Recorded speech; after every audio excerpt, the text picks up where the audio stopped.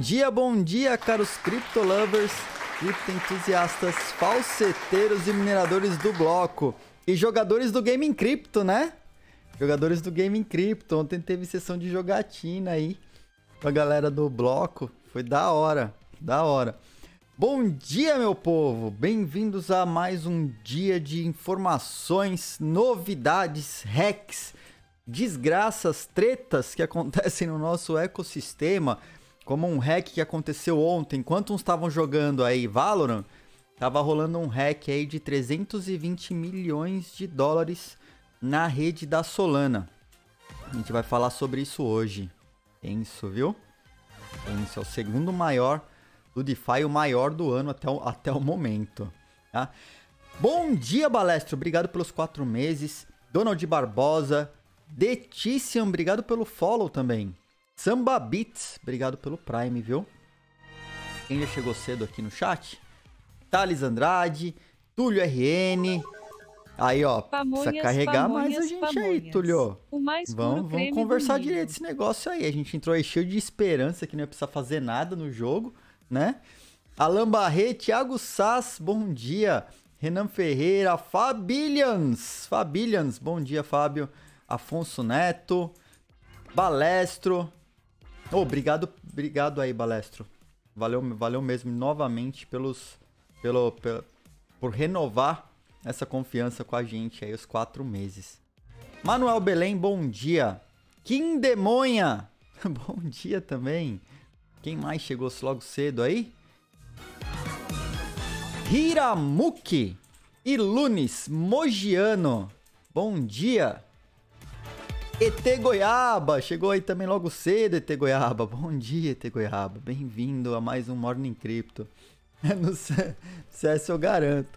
Ah, primeiro dia, primeiro, oh, cara, primeiro dia ontem realmente tava o caos, cara. Eu e a Miriam com 220, 230 de ping, a Miriam tava pegando até mais.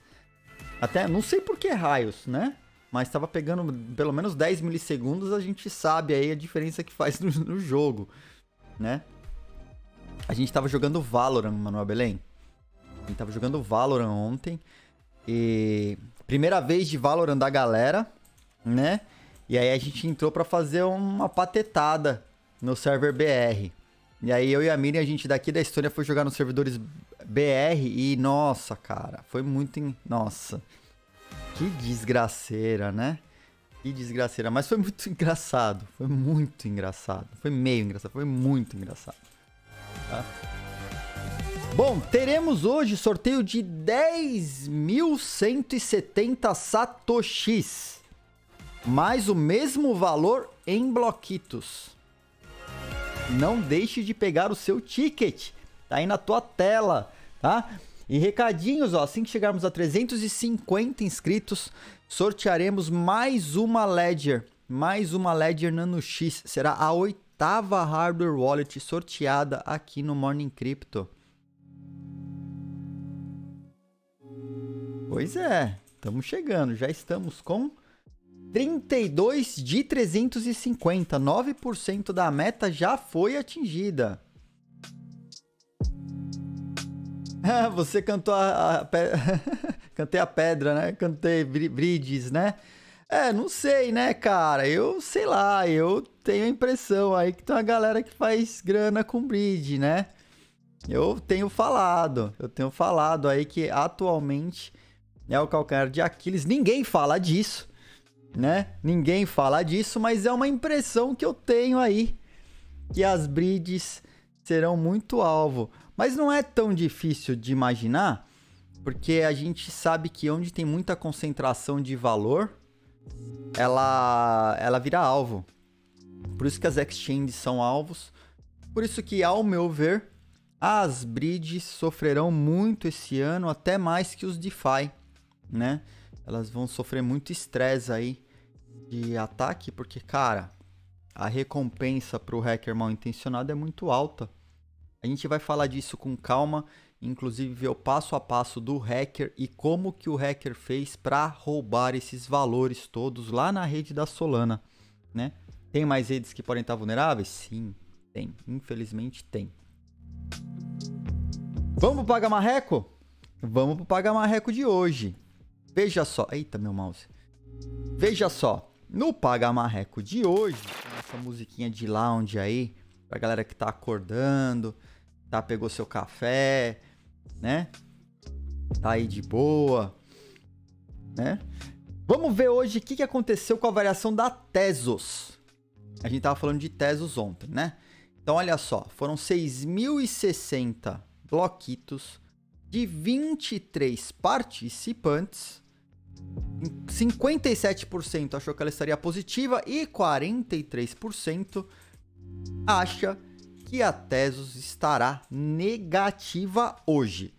Então vamos lá, que rufa os tambores.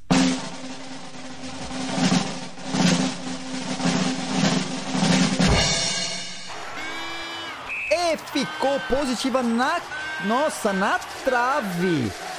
Na trave 0.11%. 0.11% positiva na trave. A gente sabe, a gente não olha os valores aqui em Bitcoin e Ether, né? Que, nossa, aí deu uma porrada em Bitcoin e Ether. Para quem manja de arbitragem aí, aparentemente pode estar havendo uma oportunidade de arbitragem na, Trezor, na Trezor, na Tesos, né? 0.11% no DOL e 6 ponto alguma coisa por cento nas outras cripto aí. Nossa, a diferença está alta aqui, né? 6% é coisa pra caramba. Mas tá aí. Tem, tem, tem uma diferença acontecendo aí. Tá? Então. Nossa, que gangorra, né? Sobe e desce. Então, quem apostou em positivo se deu bem. Quem apostou em negativo se deu foi é mal. Então só tenho a lhes dizer, meus caros. Paga marreco, passe os seus bloquitos. Tá pago. Eu ainda vou pôr o som de marreco, cara. Vou pôr um som de pato quando eu fizer o pagamento. Né? Tazo na Teso. pois é, os caras já começam cedo, já no aquecimento aí da, do piadista do dia. Um dia a gente ainda vai ter esse, esse prêmio aí, né? O, o piadista do dia, porque os caras chegam, chega empolgado. Tá pago, tá pago. Vamos pra pauta de hoje. Vamos falar de governos, vamos falar de notícias de mercado, vamos falar de NFTs, DAOs e metaversos. E vai ter o sorteio aí do Satoshi que eu esqueci de pôr na tela. Mas... esqueci, mas tá pronto. Tá na, tá na unha aqui. Pronto. Sorteio de 10.170 Satoshi está na tela. Tá na tela, magicamente entrou na tela aí. Tá aí, tá? Teremos o sorteio também. Pacodio! Obrigado pelo follow, viu? Valeu pelo follow. Então vamos começar aqui, ó falando de El Salvador. El Salvador está criando um centro de educação em Bitcoin. O presidente Nayib Bukele já havia ventilado há meses atrás que ele criaria esse, esse centro aí de estudo, né, de educação, e criou. E criou.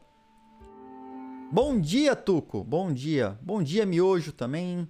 Sabino, quem mais veio chegando aí? Já pega seu sua caneca de café, se junta aí, puxa uma cadeira e chega mais. Então ele tá lançando neste momento o que ele chama lá a casa do Bitcoin.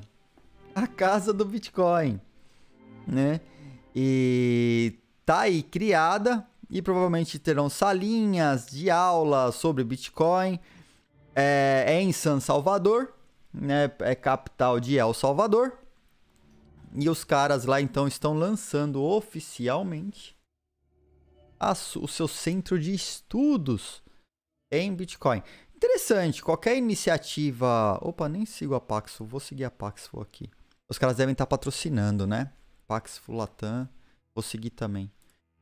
Não seguia. Então os caras estão investindo que eu acho que deveriam ter feito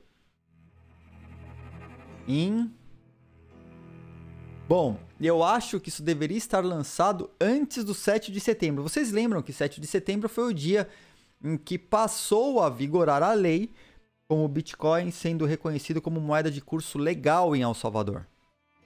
E, na minha humilde opinião, uma escola ou educação sobre Bitcoin e criptomoedas deveria ter começado a acontecer quando a lei foi aprovada.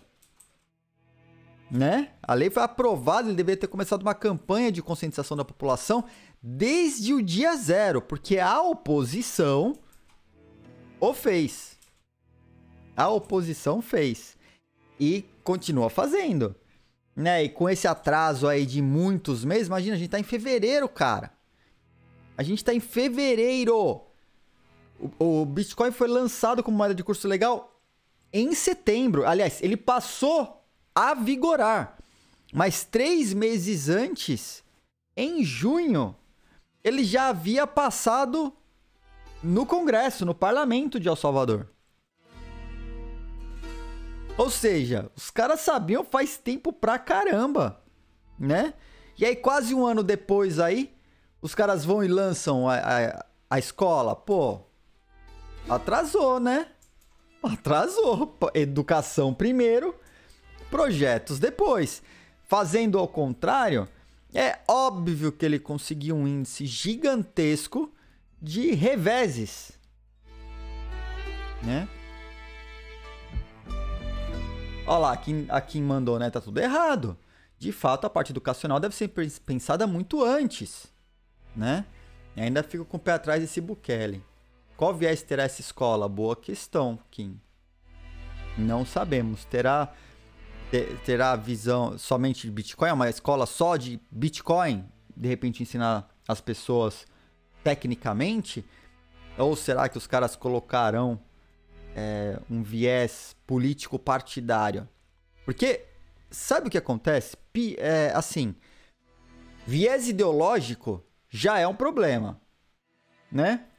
Muito embora seja muito difícil desvincular o viés ideológico do professor, porque isso muitas vezes está impregnado na alma do indivíduo, né? Então ele vive a ideologia que ele pode preconizar, pode pregar, pregar é pior que preconizar, né? O cara prega, ele é um evangelista daquela ideologia ou ele tem a ideologia para ele e segue a vida dele dentro daquilo que ele acredita? Ok, mas é difícil o cara é, ensinar uma coisa fora dos valores que ele acredita. Beleza, esse é um ponto. Aí tem o cara que prega, o pastor, evangelista. Pô, esse cara é um saco, né? Normalmente. O cara que. É... Normalmente o cara é chato. Normalmente o cara é chato. Raras exceções, sem sombra de dúvidas. Mas, mas, tem uma coisa que eu acho que é pior que isso. É quando os caras vão pra. Vão, vão ensinar alguma coisa e tentam incutir nos seus alunos um viés político partidário. Não é ideológico é político partidário. Aí, meu amigo, aí é F, né? Aí lascou. Pô, político partidário. Né, desvincular a ideologia do professor é difícil. É difícil, faz parte, tá, muitas vezes está inserida na personalidade da pessoa. Agora, inserir uma, um viés político partidário, aí é opção. Né? Uma coisa é como a pessoa é. Outra coisa, ela passar adiante, putz, uma coisa que é tão. É, não é abstrata a palavra que eu queria escolher, é tipo.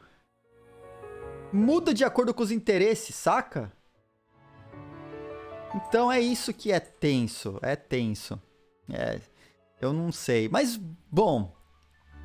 Tá lançada a casa. Se a casa do Bitcoin, se a casa do Bitcoin cuidar do ensino do Bitcoin, por que, que ele existe, por que, que ele foi feito, o que, que ele ajuda, quais os benefícios, como você não cai em golpe. Super positivo, né? Super positivo. Se não for isso, aí é badaras, né? Aí zoou. Aí zoou. Que que tá acontecendo? Tô vendo ditadura chibalana. Que que tá acontecendo nesse chat? Desde cedo. é, é, é alastro. Tô vendo que é alastro aqui, viu? Manuel Belém colocou ali, ó. Nós fazemos um curso extracurricular Blockchain in Schools, onde os alunos aprendem, inclusive, a criar uma moeda para ser usada na cantina da escola, papelaria e supermercado.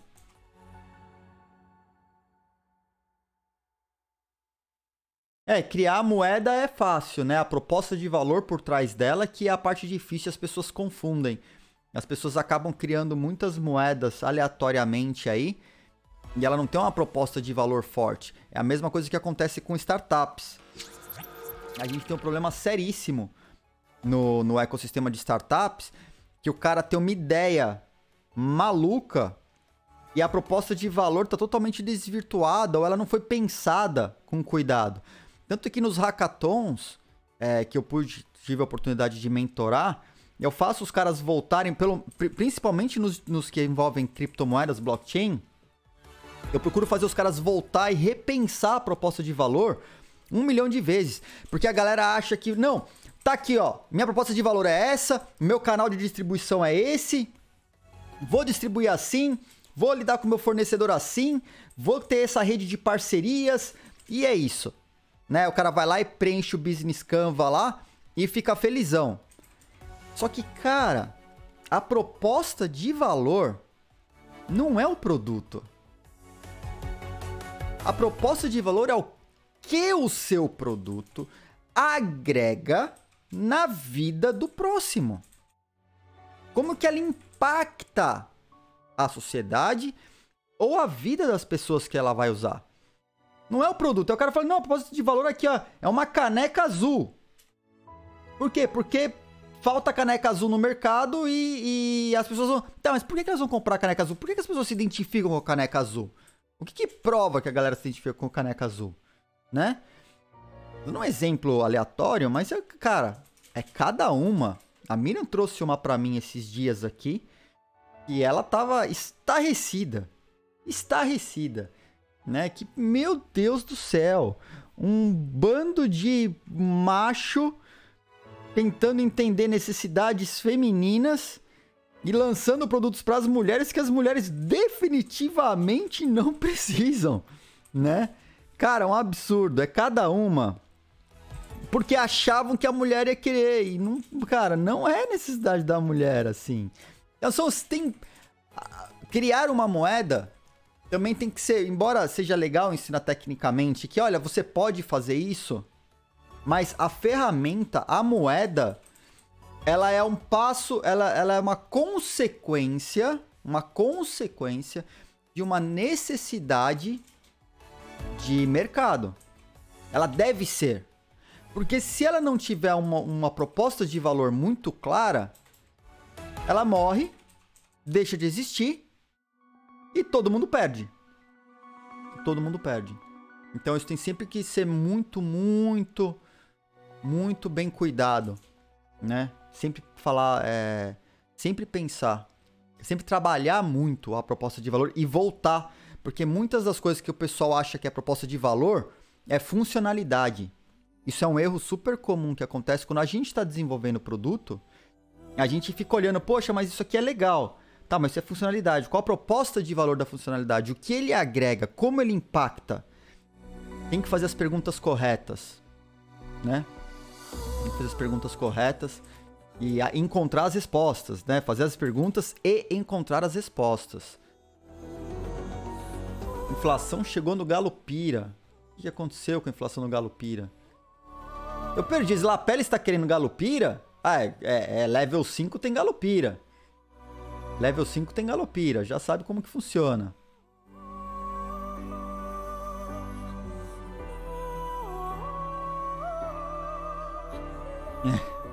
Bom, vamos continuar aqui, ó. Tem mais coisas interessantes. Filadélfia. Filadélfia também está entrando aí no mundo das Citycoins. Tá? Nas Citycoins. O que, que são as Citycoins? As Citycoins são moedas é, de cidades que mineradas podem ser trocadas aí por Bitcoin. A Citycoin ela foi criada na, no blockchain da Stacks, que é um blockchain que faz todas as transações dele no Bitcoin. E quando você minera Stacks, você recebe Bitcoin como recompensa, tá? É uma, embora ela seja é, um um Proof of Stake, é um Proof of Stake, que é a Stacks, a forma como ela funciona. A gente já viu aqui, a gente fala de Stacks lá atrás, já faz um tempão que a gente fala de Stacks, né? ela permite a criação de moedas. Essas moedas, quando o pessoal faz stake dela e é, e é recompensado com Bitcoin, uma parte desse Bitcoin vai para o tesouro da cidade e o restante é para remunerar os mineradores. É legal o modelo da Stacks, embora muitos Bitcoiners vejam com, uma, com maus olhos porque está inserindo uma nova moeda, no caso aqui duas novas moedas, né?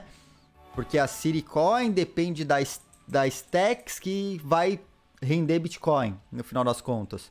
Então aí é uma terceira moeda no final das contas. Muita gente critica o fato da necessidade de várias moedas e não, de repente, fazer uma mineração com Bitcoin direto. E pegar essa mineração de Bitcoin e pôr no, no caixa da empresa. No caixa da empresa, no tesouro da cidade. Né? Mas, deixando essas questões de lado, que são discussões, opiniões, cada um vê um lado, obviamente, né? Referenciais diferentes. A Filadélfia também vai entrar, assim, assim como Miami já entrou e possivelmente terá sua Citicoin muito em breve. Picanha Coin, lastreado em boi, né? em arroba de boi. Pois é, Johnny. Alcatracoin. Eu ouvi o pessoal falando aí que foram criadas muitas moedas, né? É, a gente viu. Qual, qual foi a moeda daquele. do programa? A gente viu a moeda que falaram no. Ah, não, da McDonald's, cara. Do McDonald's. Só do McDonald's. Fazer um post lá, fazendo uma brincadeira com Elon Musk. Foram mais de 50 moedas. Aquela Grimace Coin. Foram mais de 50 moedas. Por quê? Porque você entra lá na Binance, dá um comando lá, é, aperta um botão e a moeda tá criada. E a galera mandando no scam. Escamando mó galera. Que é fácil, né? É fácil criar uma moeda. É muito fácil. Por isso que eu, eu sempre vou bater na tecla a gente tem que pensar muito, muito na proposta de valor. Porque criar uma moeda, tecnicamente, é mamão com açúcar. Mamão com açúcar. Então, Filadélfia pode ser a próxima cidade americana aí, né? Lançando a sua moeda da cidade. Na Nova York também já tem, né? Nova York, Miami, Filadélfia.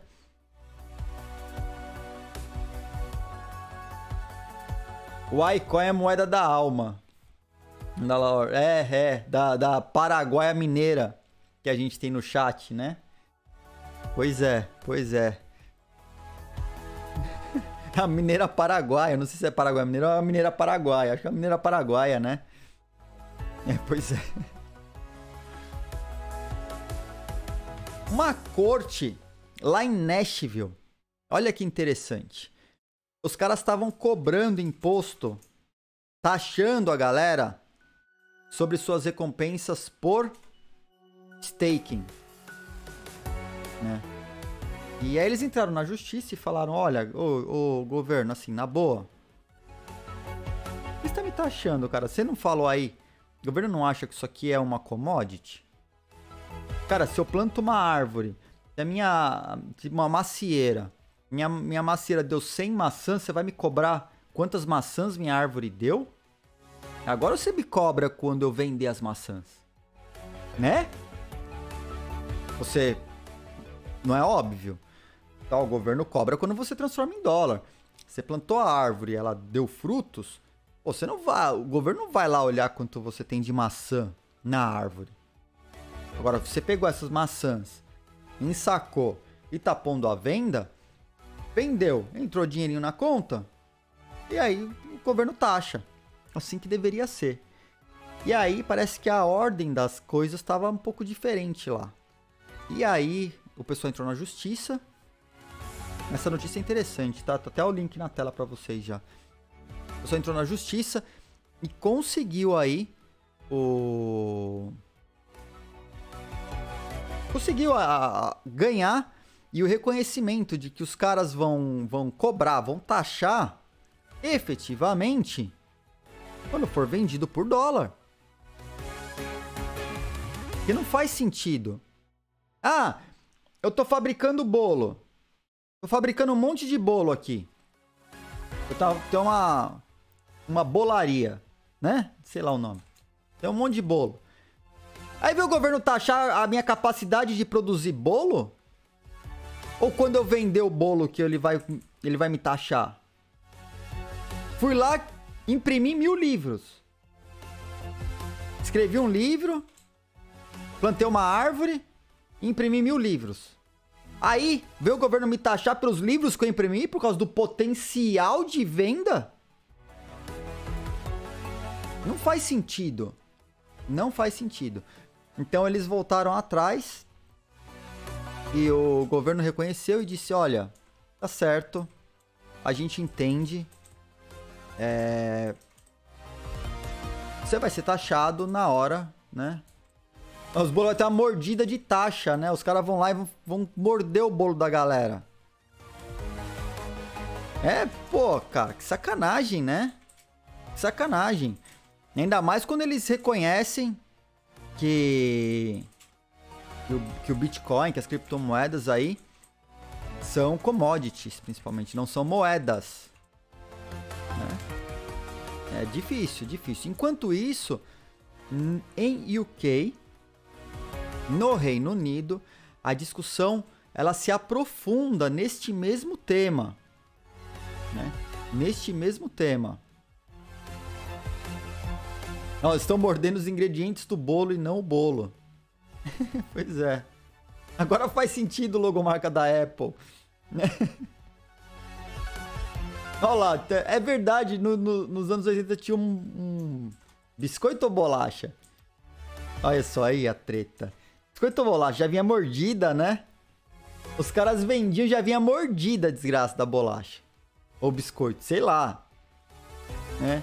Já era porque era a taxa do governo, né? Era os caras pagando imposto.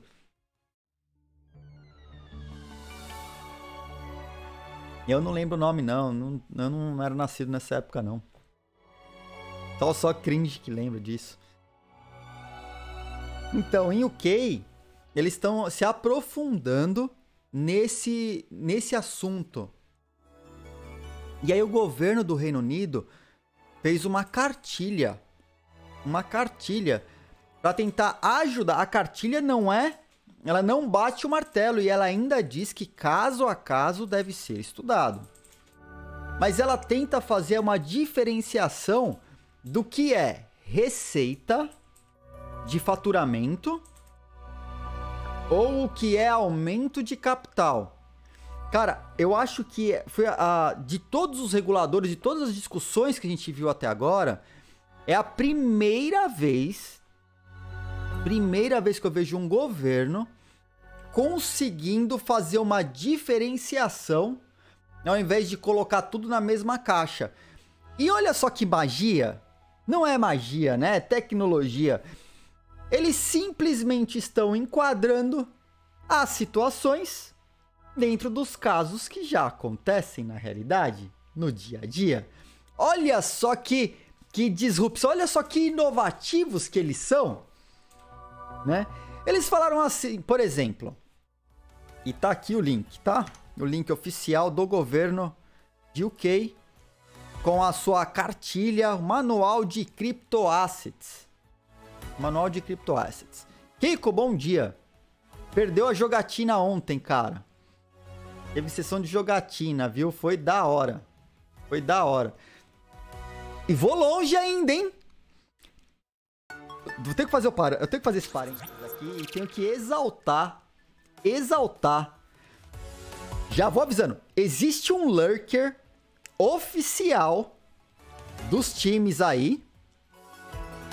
E esse lurker, o cara matou até na faca. Teve até. Teve até. Morte por faquinha. Ontem, senhor Welber, Mr. Welber, mandou ver na faca. Cara, mandou muito ontem. O cara fala, nunca joguei, nunca joguei. Passei uma hora lá no treino, entendendo as paradas lá. Chegou, mandou ver Lurker e na faca, cara. Ó, já, não, é, não é querendo dizer, mas quem joga sério sabe que um time decente precisa de um lurker e um cara aí que, que tenha, né? Se mova de maneira é, rasteira. É, é 12, cara. Olha lá. Os caras vacilou, passou a faca. Não foi, não foi em mim. Ainda bem que tava no meu time, né? Ainda bem que tava no meu time. Foi, foi, foi legal ontem. Né? O Elber, o Elber lá. Só, cara, todo time de um lado, lurkeando do outro. Dali a pouco você ia ver o, o tinha MVP. Isso é uma coisa que. Eu nem vi o Elber no jogo e o Elber matou todo mundo, cara. Você, nem viu o Elber no jogo, dali a pouco você olha a pontuação, o Elber tinha matado todo mundo. O que foi aquilo? Ou foi ontem à noite, foi ontem à noite. A gente terminou aqui na Estônia, era uma da manhã. Uma da manhã aqui era o quê lá? Sete da noite? Sete da noite. Né? Ei, Jota, não foi só você que jogou pela primeira vez, não. Teve mais gente que jogou pela primeira vez, viu? Essa que é a parte legal. Essa que é a parte legal. Tipo, não tem Cara, tem espaço para tudo. Tem espaço para quem joga, tá começando, espaço para quem manja, né? Ontem, até. A, a, cara, até o Túlio entrou para jogar com a gente ontem. Até o Túlio. O Hack entrou arregaçando ontem. Falou, ah, não sei usar utilitário, eu vou só dar bala na cara. E foi de bala na cara em todo mundo. foi animal ontem. Foi Valorant. Jogamos Valorant. Sabino? A gente tá só lembrando. Teve gente para fazer os dois times? Ainda não. Ainda não, Túlio. No form que tá lá na. Ó, avisos. Fazendo uma pausa aqui no, no, na pauta. No nosso canal do Discord tem um formulário para quem quiser participar do nosso torneio, tá? Para preencher o formulário. Até ontem tinham oito inscritos. Não, desculpa. Eram oito inscritos comigo e com a Miriam jogando. Tinham seis inscritos. Não, não, desculpa. Sete inscritos, eu não tava na lista. Tinham sete inscritos. E eu falei, se tiverem, se houverem oito inscritos, aí eu entro para jogar, a Miriam entra para jogar. A gente precisa de dez pessoas. Precisa de dez pessoas, tá? Pra poder fazer pelo menos dois times. Óbvio que quanto mais, mais divertido fica, porque a gente monta a chave e vamos, vamos pro, pro camp, né? Então, quem quiser participar, não precisa ter conhecimento. Não precisa ter conhecimento, tá? A ideia é fazer uma bagunça mesmo e se divertir. Então, mesmo que você nunca jogou Valorant, se tiver afim de participar daquela bagunça que a gente fez ontem, entra, se inscreve, a gente vai montar os times. Os times aí, obviamente não depende de mim ou da Miriam, tá junto, né? Os times podem treinar, marquem seus dias para fazer seus treinos. Junta a galera, vai lá no, no, no Discord, tem canal lá para você bater papo com o time. E vai lá e faz uma bagunça. E vê o que acontece, né? Quando for apenas pessoal do bloco, tem de valer bloquito. Pode ser, RJ, pode ser parte da premiação, pode ser bloquito do torneio. Ó, já garanto, já garanto o bloquito como parte da premiação. Mas, se tivermos, se a gente conseguir fechar o campeonato, o torneio, não o campeonato, o torneio. Se a gente fechar o torneio, eu vou atrás de patrocínio, ver se a gente consegue trazer mais alguma coisa legal pra gente. Tá? Então, ó. Primeiro campeonato mundial de Valorant do bloco. Tá? Então, é só, é só assim, baixa o Valorant, instala. Ô, ô, Miojo, eles fizeram uma atualização agora, acabaram de lançar, ela saiu antes de ontem. Uma atualização que melhorou o, os frames aí, melhorou a velocidade. Bastante, inclusive, tá? Joseira, vai ser Valorant. A gente tá tentando formar pelo menos dois times Estamos tentando formar dois times. Se a gente conseguir formar dois times, eu vou ficar de caster e vou transmitir. Quem, quem acompanhou Ed Caster durante o, o Mundial de, de, de CS durante o Major, sabe que dá, rola, rola, né? Tenho, tenho, entendo um pouquinho. E aí eu fico de caster. Eu só vou entrar se faltar jogador. Fico na reserva, né? E olha lá, o Hakaz nunca tinha jogado. Tá lá já, já jogou ontem, detonou ontem. Só bala na cara da galera, né? Então, assim, se a gente fechar o time, os dois times, pelo menos dois times, pelo menos dois times, se a gente fechar o pelo menos dois times, pode ter mais, óbvio, aí eu monto as chaves. A gente monta as chaves, mas se te... Não, eu falei... Kim, eu falei que se o time chibeiro ganhar, eu uso. Eu não preciso perder. Tem que, o time do Shiba tem que ganhar o campeonato. Tem que ser o time do Shiba. É essa que é a questão. Não é se eu perder. É se o time do Shiba ganhar. Foi isso que o, que o, que o Rodrigo propôs. Ele falou: se o Shibento ganhar, o Ed veste a camisa da Shiba. Beleza. Eu faço a camiseta e visto. E uso, tá? Não preciso jogar.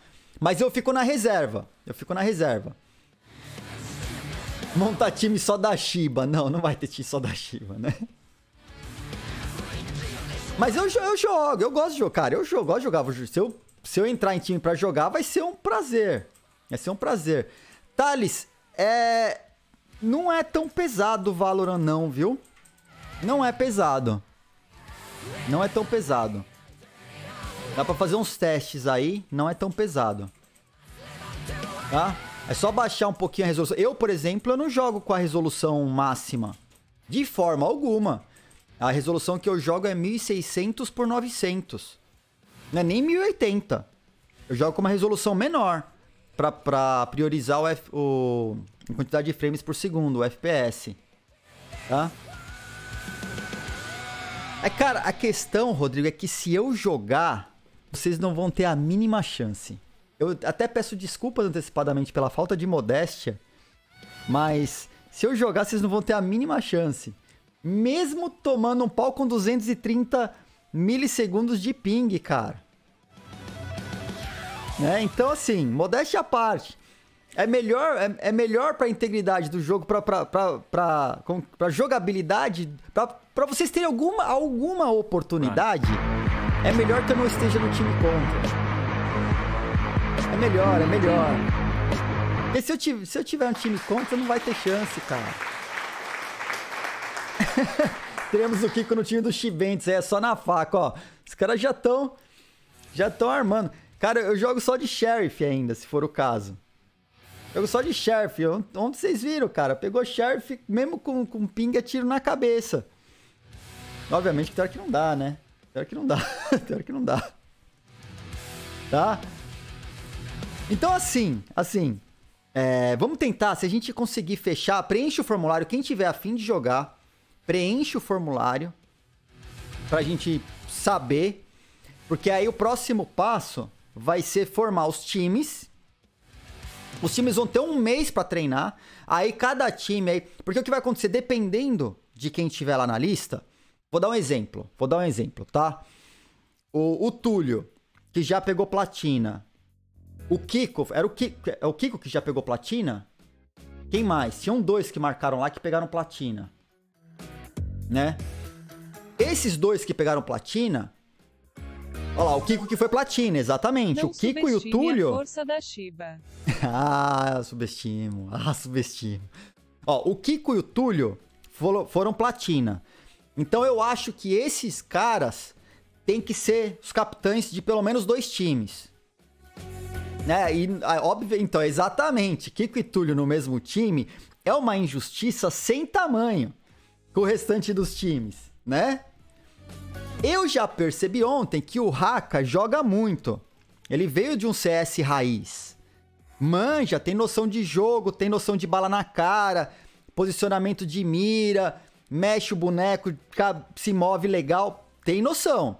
Então, eu acho que se tiver três times, eu já colocaria Túlio, Kiko e Haka como, como é, capitães e aí, cada um escolhe os outros participantes do time. E a gente vai balanceando né? Por isso que eu pedi lá no formulário para preencher qual o rank mais alto que já teve, se jogou ranqueada, né? Se conhece alguma coisa, pra gente tentar montar os times de maneira mais balanceada, saca? Porque eu quero, quero colocar é, o que cada um sabe, em qual, em qual estado que tá. Aí os capitães vão selecionar, a gente vai fazer isso tudo online. Cara, pelo que eu, pelo que eu joguei com o Haka ontem, é assim, o cara tem noção de jogo, meu. Aprender um pouquinho do mapa também já era. Túlio e Kiko já jogaram, já conhece, já conhece os mapas, né? É um pouquinho de, de conhecimento de mapa e posicionamento de mira já é, mano, é, é os caras vão vai ser feia a coisa. Então assim, vamos, vamos balancear os times, né? A ideia é fazer um negócio balanceado aí. Tá lá no Discord, na parte de news e avisos. É só entrar. O Ed quer nos estabilizar emocionalmente. Somos Chivas. Também, se quiser montar um time, o, o, o, clã da Shiba, quiser montar um time só, só de Shibeiro, a não ser que o Túlio seja Shibeiro também, eu não sei, né? Fui jogar ontem e descobri que tem boneco novo que dá dedada deslizando, cara. Pois é. Pois é, esse boneco novo entrou há três semanas atrás. E a desgraça do boneco dá dedada, cara. Dá dedada, você morre de dedada, mano. Cara, você... Tanto é que ontem eu... teve uma hora que eu corri pra um lado do mapa. hora que eu percebi que ela gritou que ela ia começar a dar dedada em todo mundo, eu saí, eu tentei picar a mula, cara, e morri de dedada ainda. Não dava com ping do jeito que eu tava. Mano, ela olhou pra mim, a dedada morri, cara. Matou todo mundo de dedada ontem. Todo mundo de tomou dedada deslizante. Pois é. Pois é, né? A gente não precisa dar DAO pra fazer o balanceamento não, TBG. A gente faz, é... a gente faz aqui é... via sorteio. Então, a gente vai ter os, os, os capitães. Então, dependendo da quantidade de time, eu vou pegar pela ordem que a galera se inscreveu lá né? E pela capa... pelo entendimento de jogo, pela noção, né? Ainda mais que eu joguei. Então eu vou pegar pela ordem, quem se inscreveu primeiro vai e, tá, e tem potencial de ser uh, liderar um time, porque já entende de jogo, a gente coloca como capitão. E aí o capitão escolhe, aí eu vou pegar o que todos, uh, em que pack tá, cada um, e a gente vai escolher. Aí a gente, né? Os capitães escolhem, fechou os times, fechou os times, e aí a gente. Aí vocês começam a fazer os treinos, marca os treinos, né? Vou acompanhar quando tiver no horário bacana, vou acompanhar. Aí pode ser final de semana, dia de semana, vocês acordem, né? Façam um acordo entre vocês e vambora.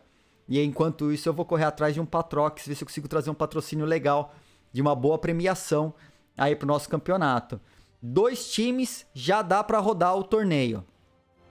Se tiver três times, cara, a gente monta até chave. A gente monta até chave. Tá?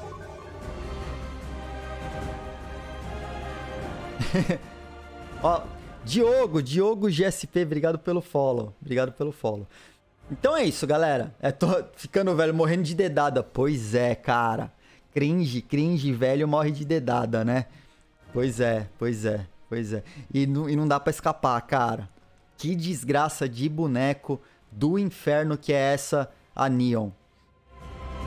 Cara, puseram uma Filipina que dá dedada, cara. É, é tenso. E você vê a dedada chegando, você sabe que não dá pra fazer nada, só tenta se esconder da dedada e a dedada te pega. É tenso.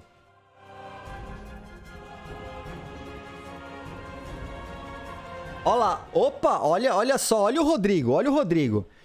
O time ganhador já tem o patrocínio de pelo menos uma pizza. O time ganhador já tem o já ganha uma pizza. Já temos aqui o primeiro patrocinador do torneio. Uma pizza tá garantida pro time vencedor. Ó, está garantido lá, ó, Bela Vista, Pizzaria Moraes, já temos um patrocinador aqui, ó. Já garantiu uma pizza. E ainda aceita Bitcoin como pagamento, tá? Lá. Então tá lá, aqui a Kim vai patrocinar pamonha, né? pois é. Cada um dentro das suas possibilidades, né? Cada um dentro daquilo que tem mais afinidade. Pois é, pois é. Então é isso, galera, ó. Estejam avisados, estejam avisados. Canal do Discord, entra lá. Link tá em news e avisos. Preenche o formulário pra gente poder montar. Porque tendo time, tendo time, eu coloco esse torneio de pé. Aí a gente faz tudo direitinho, faz as escolhas, é, faz seleção, treinos e dia do dia do torneio é dia do torneio. Aí aí não tem mais amigo não. Aí aí é né? acabou a amizade. Acabou a amizade é de torneio é de torneio, né? Dentro do servidor não tem amizade, tá? É isso, galera. Voltando aqui então.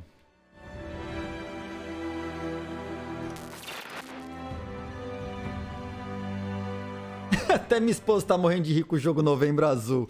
Pois é, passou, tá atrás. Putz, nossa, cara, pior que é. O boneco é azul, cara. Thiago Saz, fala pra tua esposa que o boneco que dá dedada é azul. Ainda por cima. Nossa, não tinha nem associado, mas é azul ainda. O boneco. Cara, boneco do Novembro Azul. Nossa, cara, que meu Deus, meu Deus. É tenso, é tenso. Esse, esse agente novo aí, ela tá. Os dois últimos agentes que eles lançaram ainda estão passando por balanceamento, eles estão muito fortes. A Neon e o Chamber são muito, muito fortes, assim. Os caras que sabem jogar com eles fazem um estrago muito feio, cara. Voltando pra coisa séria, aqui que tem assunto, tem. Dia, dia tá rolando, dia tá rolando. Então, lá, lá no Reino Unido, eles fizeram um estudo, liberaram essa, essa cartilha, né? Essa cartilha que eles chamam de Manual de Crypto Assets. Tá aí a tela para vocês, ah, tá aí o link na tela para vocês. O, eles falam o seguinte: por exemplo, né? Você tem diversos modelos de operação. Então, por exemplo, se você empresta sua criptomoeda e quando te pagam de volta te pagam com juros, não deveria ser considerado aumento de capital. Talvez receita. Né? Talvez receita. Agora, se se o retorno que você está tendo é porque você se desfez do seu asset inicial, do seu ativo inicial, ela poderia indicar um, um aumento de capital. Né? E aí eles fazem essa, esse comparativo. Como eu disse antes, dessa interrupção por causa do, do jogo. Como eu tava falando, é a primeira vez que eu vejo um governo ou regulador olhar para o que está sendo feito com a criptomoeda e falar: bom, ó, o cara emprestou. Estão pagando ele de volta uns juros aqui. Não, não dá para considerar aumento de, é, aumento de capital. É receita. Taxação é uma. Se o cara tá comprando e vendendo, tá se desfazendo, talvez seja aumento de capital. Se ele está recebendo um pagamento periódico por fazer stake ou por emprestar e tá tá recebendo pagamentos e repagamentos,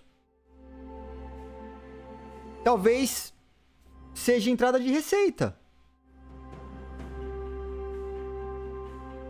Né? Então, se ele recebe o pagamento uma única vez, talvez pareça mais aumento de capital. Mas se ele recebe de maneira recorrente, mensalmente, os pagamentos acontecendo, talvez pareça mais com receita. Né? Aí eles têm que avaliar o período do empréstimo. É, já é fixado ou é indefinido? Quando o cara tá entrando no negócio, ele já sabe quanto ele vai receber de, de juros antecipadamente? Ou esses juros é variável? Depende de uma ocasionalidade de mercado. Aí eles falam: olha, isso tem que ser levado em conta. E esse tipo de coisa sendo levado em conta, você vai encaixar esse cara na taxação que eles consideram mais adequada, tá? Então esse texto aqui, ele é histórico para mim, porque é a primeira vez que um governo, que eu vejo um governo falar sobre isso abertamente, né? Então temos lá onde na qual que é, qual que é o estado? Nashville. Em Nashville, eles conseguiram reverter e falar, cara, eu tô fazendo stake aqui, você tá me taxando antes. Querendo me taxar antes, cara, é, tem que me taxar quando eu converter isso em dólar. Ok. Né? E foi lá, transformou em dólar, transformou em shitcoin. Aí o governo tem o direito de pôr a mão na sua criptomoeda, né? É governo. Ele. Não, direito não tem. Pera aí. Não. Não é que ele tem o direito. Ele vai. Ele. É, como que eu posso usar? Ele vai usar da força que deram para ele para te tomar seu dinheiro. É isso que eu quero dizer, né? Não é que ele tem o direito. É roubo, cara. Ela tá te roubando, né? Tá tomando sua grana. Então, assim, é isso. Ele vai usar da força que ele tem pra subtrair os seus bens. É isso que eu queria dizer. E aí? Enquanto que em UK eles estão olhando pro negócio e falando: nossa, cara, cada caso é um caso. A gente, para fazer a taxação, não tá claro e tem que olhar. E tem que olhar e. para definir. Pra definir. E é interessante, é interessante o ponto de vista deles, porque é a primeira vez que eu vejo realmente o governo separando separando uma coisa da outra. É. Interessante isso aqui. E na Rússia? Ele se dá o direito imoral de meter a mão nas suas coisas. É isso, Tuco. É igual a Neon. Ela tem o direito imoral de vir te dar uma dedada. E o governo acha que pode fazer a mesma coisa. Né? É, essa aqui é a parada. Eu não sei se ele tem o direito de. É, é, tem, tem. Direito ele tem. A gente. É, direito ele tem. Não é certo, né? É, é roubo, é. Ele tem o direito da força ele, ele tem o, o poder, né? Não sei nem se é direito, acho que ele tem o poder. Porque o direito que ele não tem, ele se dá, né? Quando, quando é governo ou é político, não existe lei sobre eles, não existe regra. Porque eles fazem o que eles quiserem. E o direito, para você ter um direito, é porque regras foram instituídas que definiram que aquilo é seu direito. E para o governo, e políticos, e políticos, isso não existe. Eles simplesmente fazem o que eles bem entenderem. Por isso que eu acho que eles usam a força, né?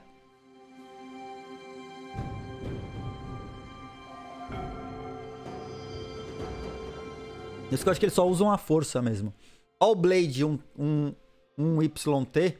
É, não entendi, só tem a força mesmo, né? Eu acho que é isso. Acho errado cobrar taxa pelo stake. Não, é, é, é errado em muitos níveis, Lunes. É errado em muitos níveis. E mesmo que institua a taxa sobre o stake, como que eles vão monitorar? Né? São regras que nascem para serem quebradas. Pois é. E a Rússia?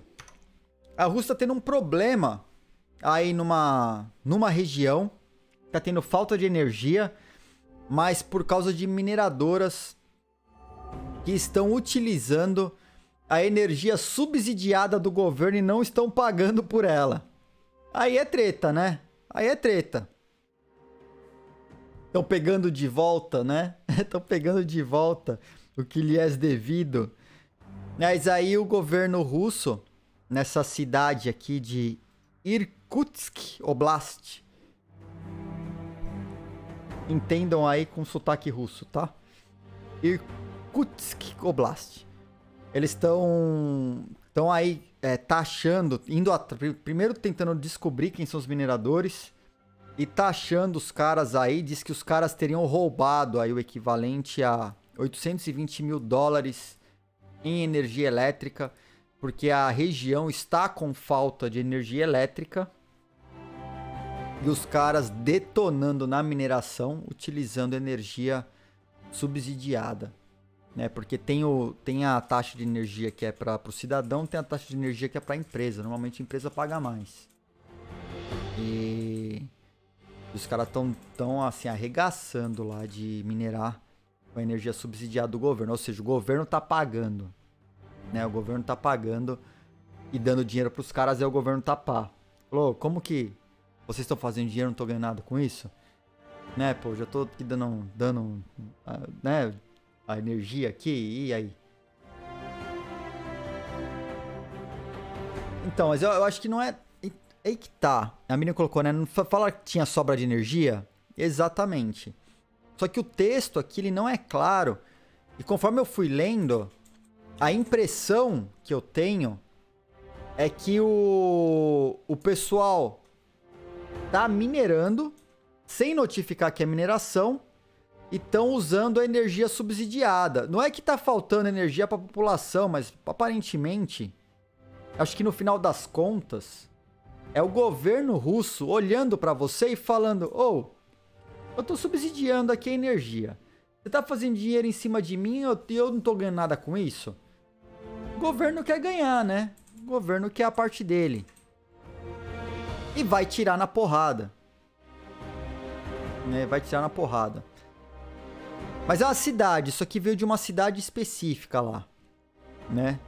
E ainda, ó, até fala aqui, né, que essa essa fala aqui vem depois ainda do logo após o presidente Vladimir Putin falar que a Rússia tem um excesso de energia para o país e que tem uma vantagem competitiva na mineração cripto.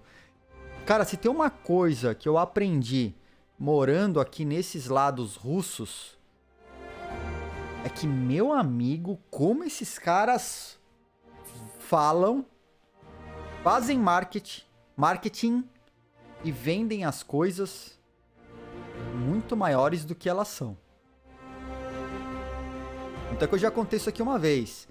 Quando ainda era tudo União Soviética, todo o marketing russo era feito aqui na Estônia. Porque o povo que sabe mentir, cara. O fake until you make it é, é claro dos caras aqui. E aí, você acha que. Você acha que em algum metaverso o Putin vai falar estamos com problema de energia na Rússia? Mesmo, mesmo toda a população reclamar de corte de energia porque cai, porque falha, né, eu tenho amigos que moram na Rússia e, cara, volta e meia falta energia lá onde o cara mora. E é perto de Moscou, não é Moscou em si, mas é próximo de Moscou, redondezas. E falta energia o tempo todo. E aí chega o Putin e fala: "Não, aqui tá sobrando energia". Será que tá? Será que não é o russo fazendo russice? Eu acho que isso é mais para russo cara, eu não consigo imaginar o Putin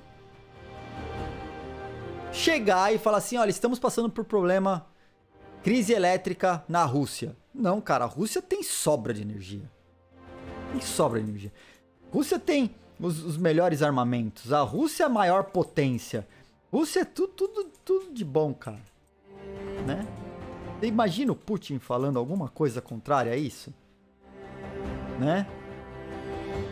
É, é isso, né? É dose, é dose. E no Texas? No Texas, que recentemente também. Oh, a gente acompanhou aqui no Morning Crypto. O governador é, chamando as mineradoras de criptomoedas para o Texas, convidando as mineradoras de criptomoedas para o Texas, neste momento eles começam um movimento de desligamento das operações. Por quê? Porque no ano passado o Texas sofreu demais um inverno vieram, di, vieram diversas tempestades de inverno lá na região. E quando acontece essa tempestade de inverno, lá já tem racionamento de energia pro povo, né? Marco Bruno, obrigado de novo, cara. Que isso, obrigado. Meu Deus, meu Deus, obrigado, cara. Valeu pela força. Galera que tá chegando aí pelo Marco Bruno, sejam muito bem-vindos. Marco Bruno, obrigado, cara. Valeu pela força. Tamo junto, tamo junto. Bom dia aí. E bom trampo, né? Eu sei que você vai, vai fazer suas coisas agora. Né? Fez a parte da manhã agora dos desenvolvimentos lá. E agora vai fazer os outros trampos. Bom, bom trampo aí, cara. Obrigadão aí pelo, pelo gank. Valeu mesmo. Né? E vai voltar à noite, né? O Marco ele faz duas lives por dia. Uma de manhã e outra à noite, né? Onde ele, ele, onde ele apresenta o desenvolvimento do, do app que ele tá fazendo, lá de um jogo, né? Um jogo. Salve, salve. Olha lá, vou tirar um sono. pois é, dá uma descansada, cara. Bom descanso, brigadão pela força, viu? Galera que tá chegando aí pelo Marco, pelo Marco Bruno agora, muito bem-vindos, tá? Aqui é o Morning Crypto. Eu apresento todos os dias, às 8 da manhã, no horário do Brasil. Eu apresento um programa que fala de ecossistema, de criptomoedas, blockchain, tecnologias, inovações. A gente comenta política, a gente comenta sociedade, filosofia.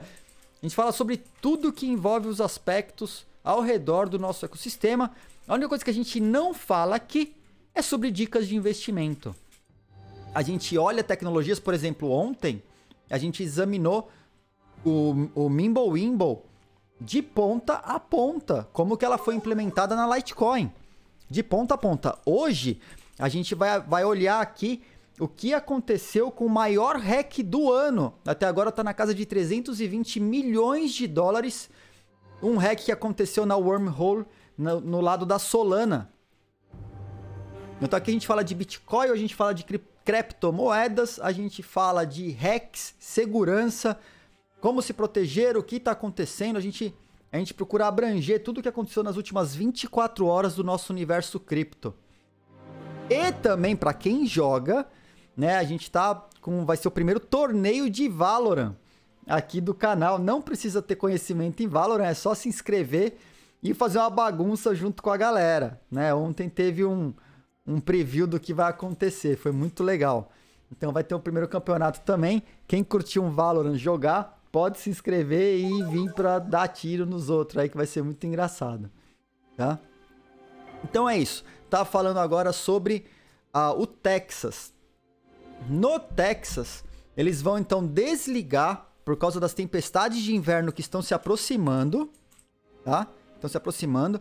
Já começaram a desligar as máquinas, inclusive a Riot. Não é a Riot que produz o Valorant, mas é a Riot Blockchain, uma das maiores mineradoras de Bitcoin do mundo, anunciou que fechou 99 da 99% das operações no Texas. Porque eles entendem que quando chegam essas tempestades de neve, falta luz. E para vocês terem ideia do estrago, não é que falta luz por causa da geração a galera tá consumindo mais. No ano passado, os geradores congelaram. As quedas de energia é porque tudo congelou naquele lugar. E as operações de Bitcoin podem ficar extremamente comprometidas, inclusive os equipamentos, né? Usa muita energia solar, Tuco, no Texas. É real. Usa muita energia solar no Texas. E, então, assim, estão desligando, tá? Enquanto na Rússia eles estão querendo taxar a galera que tá usando energia subsidiada, os mineradores do Texas, por alguma, sei lá, uma iluminação divina ou consciência só, né? Os caras tão, já estão desativando o grid e, e possivelmente 99% das operações de mineração serão interrompidas. Porque parece que tá chegando. E eles já sabem que vai ter tempestade. E vai chegar e não vai ser fraca não, pelo jeito. Né? Falou que se, se acontecer, como aconteceu no ano passado, a coisa foi feia. A coisa foi feia. FTX. A FTX acaba de entrar no mercado japonês adquirindo uma das eh, maiores exchanges já reguladas no Japão. A gente vem falando muito aqui no Morning Crypto também é, sobre essas grandes empresas que estão comprando as empresas menores para poder entrar nos mercados regulados. Muitas vezes é mais fácil você comprar alguém que já tem as licenças do que a própria empresa tirar as licenças para poder operar. Hoje, SMzinho, obrigado pelo follow. Gabriel Imenes, Jonathan Felipe, obrigado pelo follow, viu? Vocês que chegaram aí, deixaram follow, tamo junto. Valeu pela fortalecida. Então a FTX, que é uma, uma grande exchange, embora a gente já tenha visto aqui a FTX aí com muitas aspas, tá? FTX não me processe. A FTX enganando um cliente, a, a, alterando os termos de uso e subtraindo mais de um milhão de dólares em criptomoedas de clientes. A gente acompanhou isso que eles fizeram aqui, que eu acho que foi golpe. É achismo, né? É, os caras alteraram os termos de uso, inclusive, para para justificar, mas alteraram depois do fato ter ocorrido com o usuário. Cara, foi muita sacanagem. Na pior, na, aliás, na melhor das hipóteses, na melhor das hipóteses, foi uma baita de uma sacanagem o que a FTX fez com o usuário. Baita sacanagem.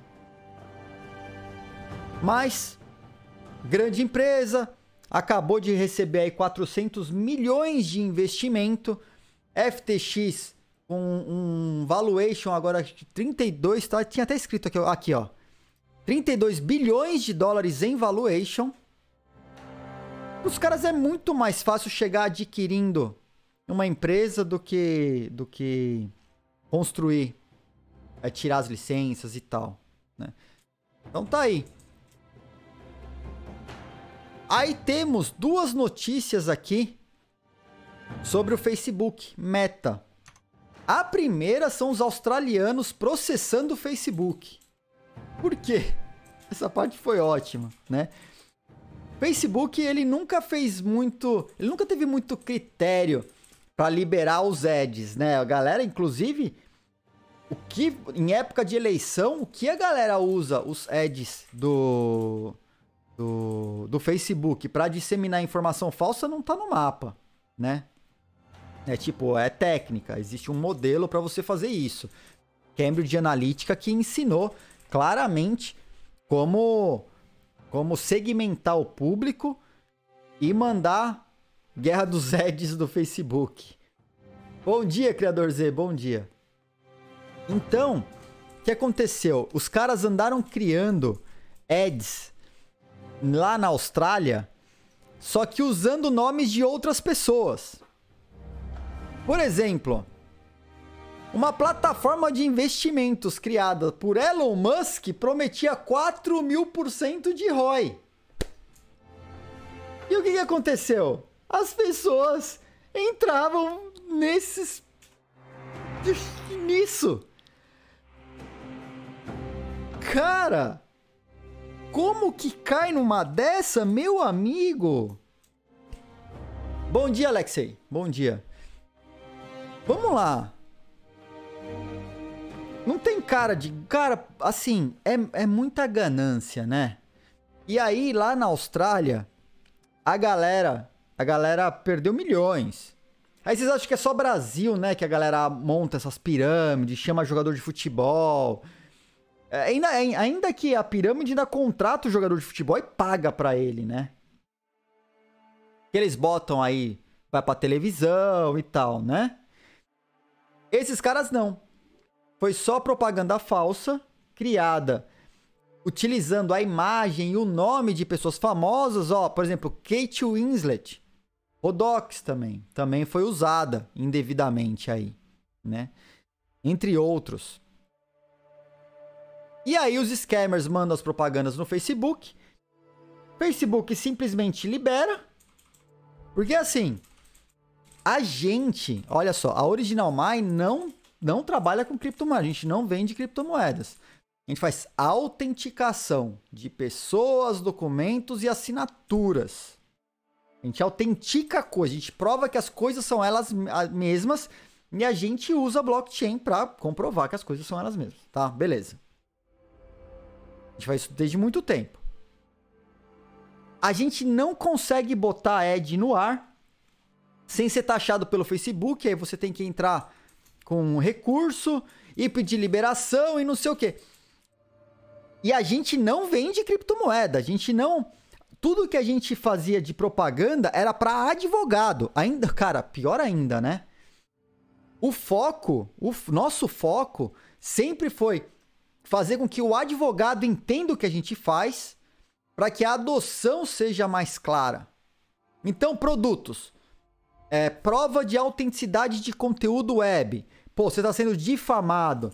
Está recebendo ameaça no WhatsApp. Está sendo difamado em redes sociais, comentários, mensagens. A gente tem uma ferramenta para gerar prova daquilo que está online naquele momento.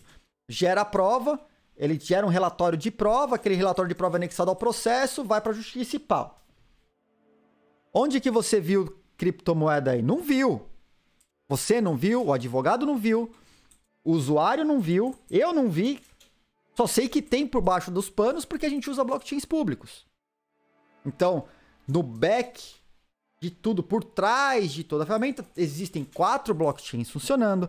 Esses quatro blockchains são blockchains públicos, não são redes privadas.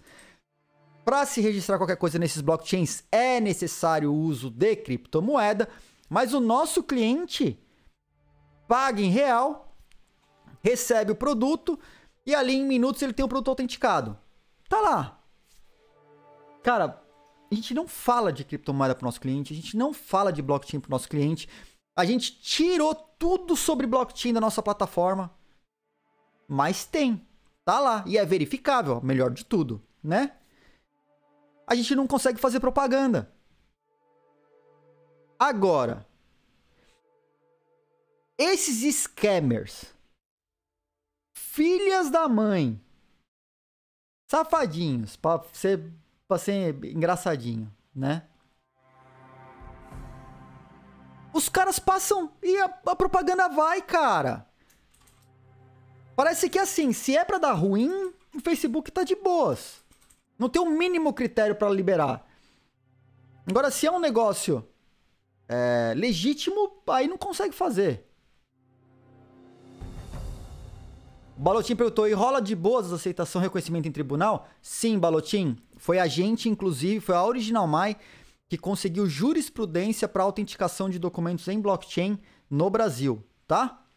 É, isso aí foi a, é, graças à Original Mai. Aliás, muitas coisas que aconteceram no Brasil em relação a blockchain foi graças à Original Mai. Né? Foi, foi pioneira mesmo, não tem, né, não tem nem que ter muita modéstia em relação a isso. Alan Barré, obrigado, obrigado. Alan Barré acaba de dropar 5 subgifts aí no chat. Quem que ganhou? O Batman. Temos o Batman entre nós. Batman, agradece aí Alan Barré, o Gil GMR, Luan Leal, Luan de Leal, Hiramuki e Cláudio Libertário. Bem-vindos. São os mais novos membros do bloco. Poderão participar do sorteio da Ledger tão logo a gente atinge os 350 inscritos, né? E obrigado, obrigado novamente, Alan Barré. Galera que acabou de ganhar sub, vocês não tomam ad, vocês podem participar da DAO, podem se inscrever na DAO, inclusive, para ajudar a, os, a, a, decidir os rumos do nosso programa, porque quem decide é a comunidade. E você também pode, é, vai poder participar do sorteio da Ledger tão logo a gente abra, chegando a, a 350. Se ganhar a Ledger, eu quero porcentagem dela. Eu espero que você ganhe a Ledger para você ter 100% da sua Ledger, Alan. Tá? Eu, eu realmente espero, espero. obrigado, obrigado pelo subgift. Cenova Cost, bom dia, bem-vindo. Tamo junto, tamo junto. Então, cara, fica aqui a crítica ao Facebook. Realmente é, é claro, não esconde. E os caras estão sendo processados porque. Pô, aqui os caras colocam que os processos foram. É, as pessoas perderam milhões de dólares australianos, no caso aí, por conta de golpes em que caíram, por propagandas falsas utilizando nomes de pessoas famosas no, no Facebook. E o Facebook? Nossa, F meta, né? F meta. Meta caiu 20% desde que ela resolveu pivotar para metaverso. Aparentemente a galera tá pá com o Facebook, né? O meta. Alex, você falou que se indica para estudo, tô começando com HTML, CSS e Java. Alexei, eu acho que, assim, começar é, desenvolvimento, eu preciso entender de o que você quer desenvolver. Porque, assim, HTML, CSS e Java são apenas ferramentas, saca? Então, assim, você quer ser um desenvolvedor web? Se você quer ser um, um bom designer, HTML, CSS, JavaScript, para começar, tá ótimo. Mas você quer colocar um, um site no ar bem feitinho, um pouquinho de front-end aí, dando uma continuidade ao JavaScript, CSS HTML. Quer começar a mexer com banco de dados e, e pegar as informações que são processadas no front para trabalhar no back? Aí um pouquinho de back-end para não sair do JavaScript Node.js, porque é fácil, está sendo muito utilizado. Então, assim, para começar, para começar a entender um pouquinho de lógica de programação, começar a entender como a coisa funciona, eu acho que se você está começando a dar uma olhada em HTML, CSS e Java, é porque você tem algum interesse na construção de páginas web, né? E aí não se atenta somente à tecnologia, mas se atenta também ao design. A partir daí é natural ir para o front-end e para o back-end, muito provavelmente utilizando o Node.js aí.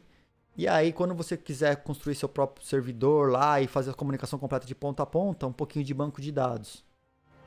Aí já dá para começar a fazer umas coisas bem bacanas, tá?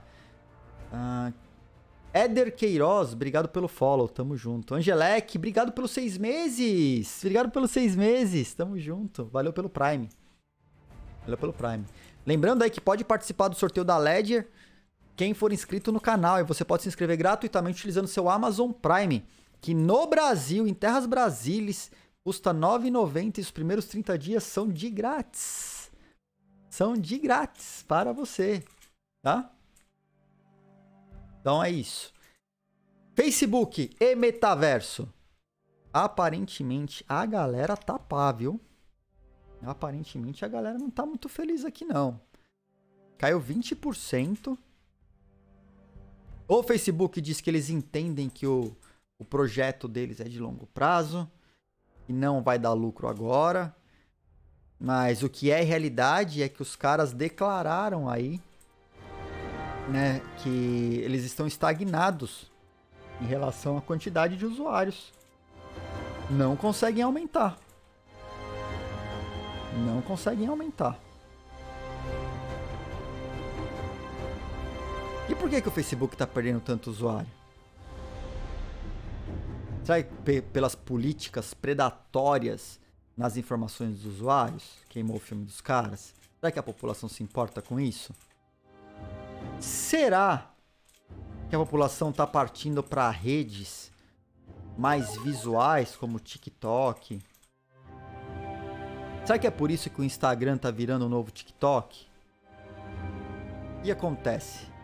Que acontece? Ou seja, por que será que a pessoa, a galera pá com, com, com Zuckerberg? Será que a galera pá porque essa ideia deles para metaverso tá meio zoada? Tá meio zoado. De repente, né? Mamba! Fala, meu caro. Bem-vindo. Bem-vindo. FB tá ficando chato pela polarização política. Esse foi um dos motivos do qual eu saí do Facebook. Eu fechei minha conta, né? Congelei a conta, digamos. Um dos motivos. Muito chato, cara. Muito chato. E muita gente saindo, né? É, dados talvez a galera não se importa, né? Ó, oh, André Julião, 1.9 bilhão de usuários, um market share extraordinário, sem sombra de dúvidas, André Julião. Sem sombra de dúvidas, né? tem muita gente no Facebook ainda. Mas eles devem ter percebido uma queda de usuários gigantesca aí nos últimos tempos, né? O código do Pack Web é fechado? Sim, o Pack Web é um produto de código fechado e explico o porquê. Explico o porquê. E é simples o porquê.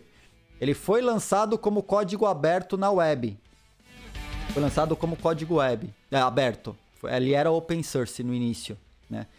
E aí tiveram os engraçadinhos, começaram a fraudar o código do Pack Web e lançar o, o cópias fraudadas do Pack Web no mercado.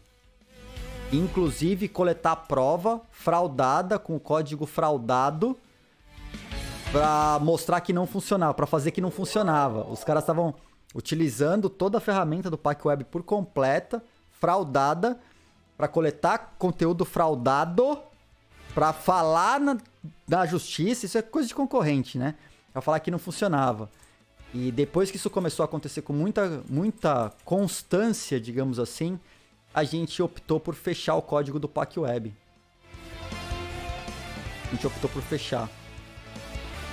Porque, cara, a gente quer ajudar, mas, né?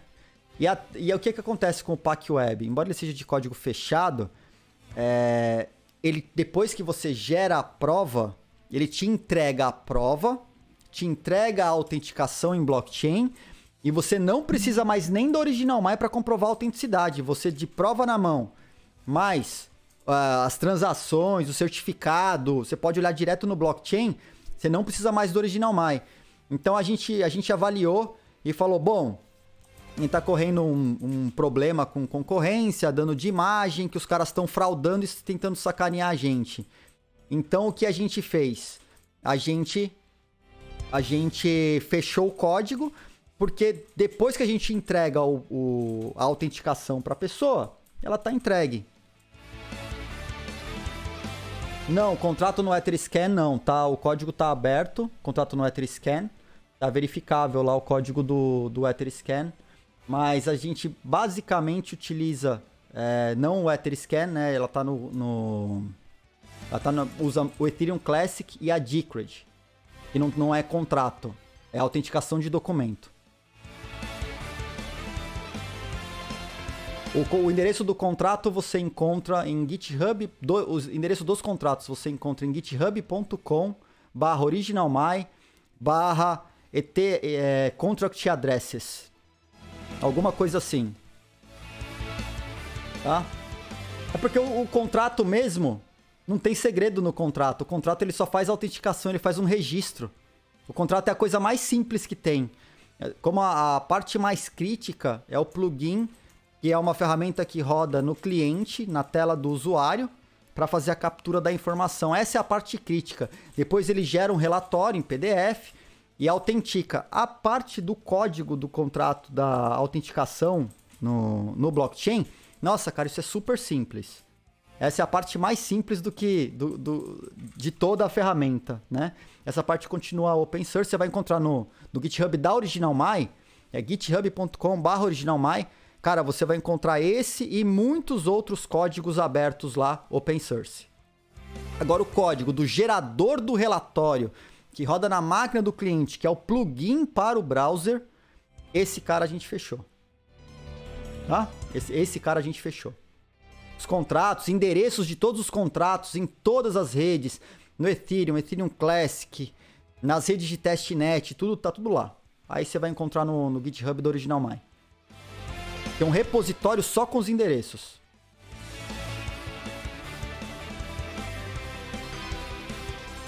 Você pega o dado, mete um hash nele, coloca no contrato que o hash foi de fato gerado usando seu algoritmo. É mais ou menos isso. Mais ou menos isso. O sistema ele usa um método bastante confiável para é, gerar o relatório.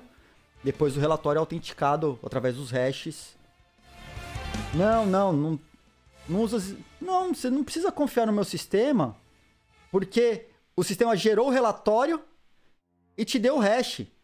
O hash é o hash do relatório. Você vai encontrar esse hash olhando no blockchain. Você olha para o blockchain e vê o hash lá registrado no blockchain. Você só precisa disso, não precisa de mais nada. Né? O meu, o, você só precisa confiar no meu sistema que ele tá funcionando até você ter na mão o relatório e o registro em blockchain, que demora minutos. Né? Demora minutos. Então, assim, depois de, de poucos minutos usando o Original My, você não precisa mais do Original My para provar que aquele relatório foi autenticado, tá com timestamp, foi autenticado em blockchain que, naquele momento. Tá? Então por isso que a gente fechou o código do front dele, que estava aberto. A gente fechou o código do front. A galera tava enchendo o saco. Chegou um ponto que a gente encheu o saco, né? Encheu o saco e falou: ah, tá, vocês estão querendo ficar só, só zoando? Então acabou a festa. Aí acabou a festa. Tá? É isso. É super simples, só precisa da gente por alguns minutos, depois não precisa mais. A gente criou, por, por isso que a gente fechou o código. Então, onde que eu tava aqui? Ah, ah isso, tava falando do Facebook, né? Então, o Facebook pivotou para metaverso. Continuam com as tretas de ads, de propaganda, de disseminação de fake news. E aí, meu amigo, aí a coisa ficou feia pros caras, né? Perdendo usuário, perdendo valor de mercado, tá?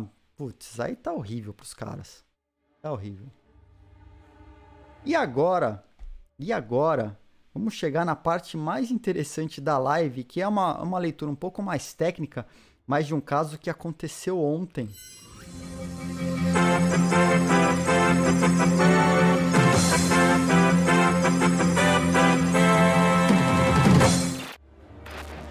Acompanhamos ontem aí o hack milionário mais de 300 e, 320 milhões de dólares que foram subtraídos de uma bridge na rede da Polygon. Esse hack aí é o maior hack já do ano de 2022. É o segundo maior hack que acontece no universo de DeFi nos blockchains, né? A gente acompanhou aí um hack de 600 milhões que aconteceu há um tempo atrás, né, que foi na Poly Network, a gente acompanhou o hack da Poly Network aqui, na, aqui no Morning Crypto. A gente acompanhou aquela palhaçadinha que o hacker ficou fazendo com o pessoal da Poly. Vou devolver, não vou devolver mais. Não, agora eu vou devolver. Não, agora eu vou devolver uma parte. Devolve um pedaço, não devolve o resto. Ah, tô pensando aqui o que eu faço com o resto. E o hacker ficou lá de sacanagem, né? E eles trocando informações on-chain. Por conta disso, foi criado até aquele, aquele chat no BlockScan, que é do pessoal do EtherScan, né? A gente acompanhou. Aí, ontem, ontem à tarde para noite, aconteceu o que foi o segundo maior hack, na casa de 320 milhões de dólares. Foi numa bridge, foi numa bridge também, que é uma conexão entre diversas redes chamada Wormhole. Essa bridge ela não está somente na rede da, da Solana. É uma ponte entre os tokens para você poder levar tokens do Ethereum para Solana, da Solana para o Ethereum. Só que ela também está em outras redes. Essa bridge ela tá na Polygon, tá na BSC, tá na Avalanche, tá na Oasis e tá na Terra. Então, esse pessoal do Wormhole, One Coin to Rule Them All. Aí estamos falando de Bitcoin, né? Claramente, Rolling. Estamos falando de Bitcoin, né? Então, essa ponte a gente chama de bridge e a gente já viu aqui no Morning Crypto como que elas funcionam. Você vai na rede original, trava os seus tokens em uma, um smart contract e aí a bridge libera esses tokens na outra rede. Quando aí você faz o que você quiser com os tokens na outra rede, que normalmente é uma rede mais barata. Quando você quiser o token original de volta, você manda o token, a gente chama de token rapado, né? O rapid alguma coisa. Muita gente já deve ter visto WETH, por exemplo. Tá? O WETH é um token do Ethereum. Se você usa o WTH na Polygon, por exemplo, significa que esse WTH ele está preso em um smart contract na rede do Ethereum.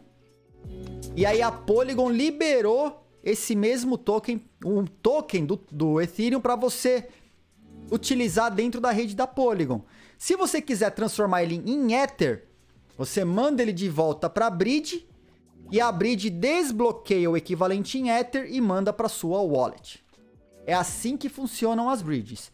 Ele sempre loca de um lado, libera o token do outro, depois você devolve o token, o token é destruído e esse token, é o, o, a moeda original, é liberada de volta para você. É assim que funciona, tá? O pessoal tá fazendo isso também para NFT. Você trava o NFT em uma rede e libera um token desse NFT na outra rede. Quais os problemas da bridge? Quais problemas que a bridge tem? Se, se a bridge for hackeada, se ela for hackeada do lado original, você vai perder os controles de quantos tokens disponíveis estão do outro lado, porque seriam tokens falsos, né? É um token que não tem a sua equivalência presa no smart contract te dando garantia àquela emissão. Então, é um problema. Se o token wrappado, o token do lado do o, o token mesmo, o token da moeda original na outra rede for hackeado, e o cara pode fazer com isso?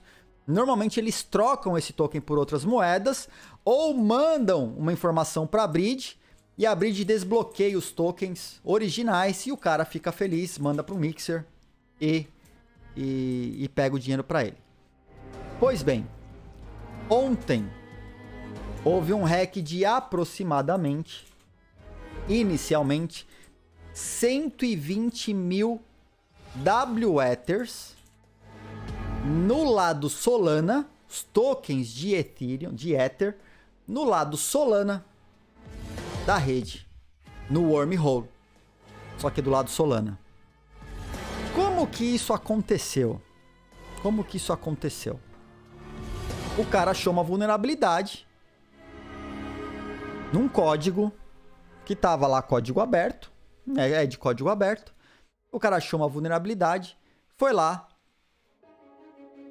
explorou essa vulnerabilidade e conseguiu uh, conseguiu manipular, fazer com que o smart contract executasse coisas como se a, esse, é, essas ações tivessem sido enviadas pelo dono. E não era, era um cara falso se passando por alguém que tinha acesso a fazer essas alterações aí.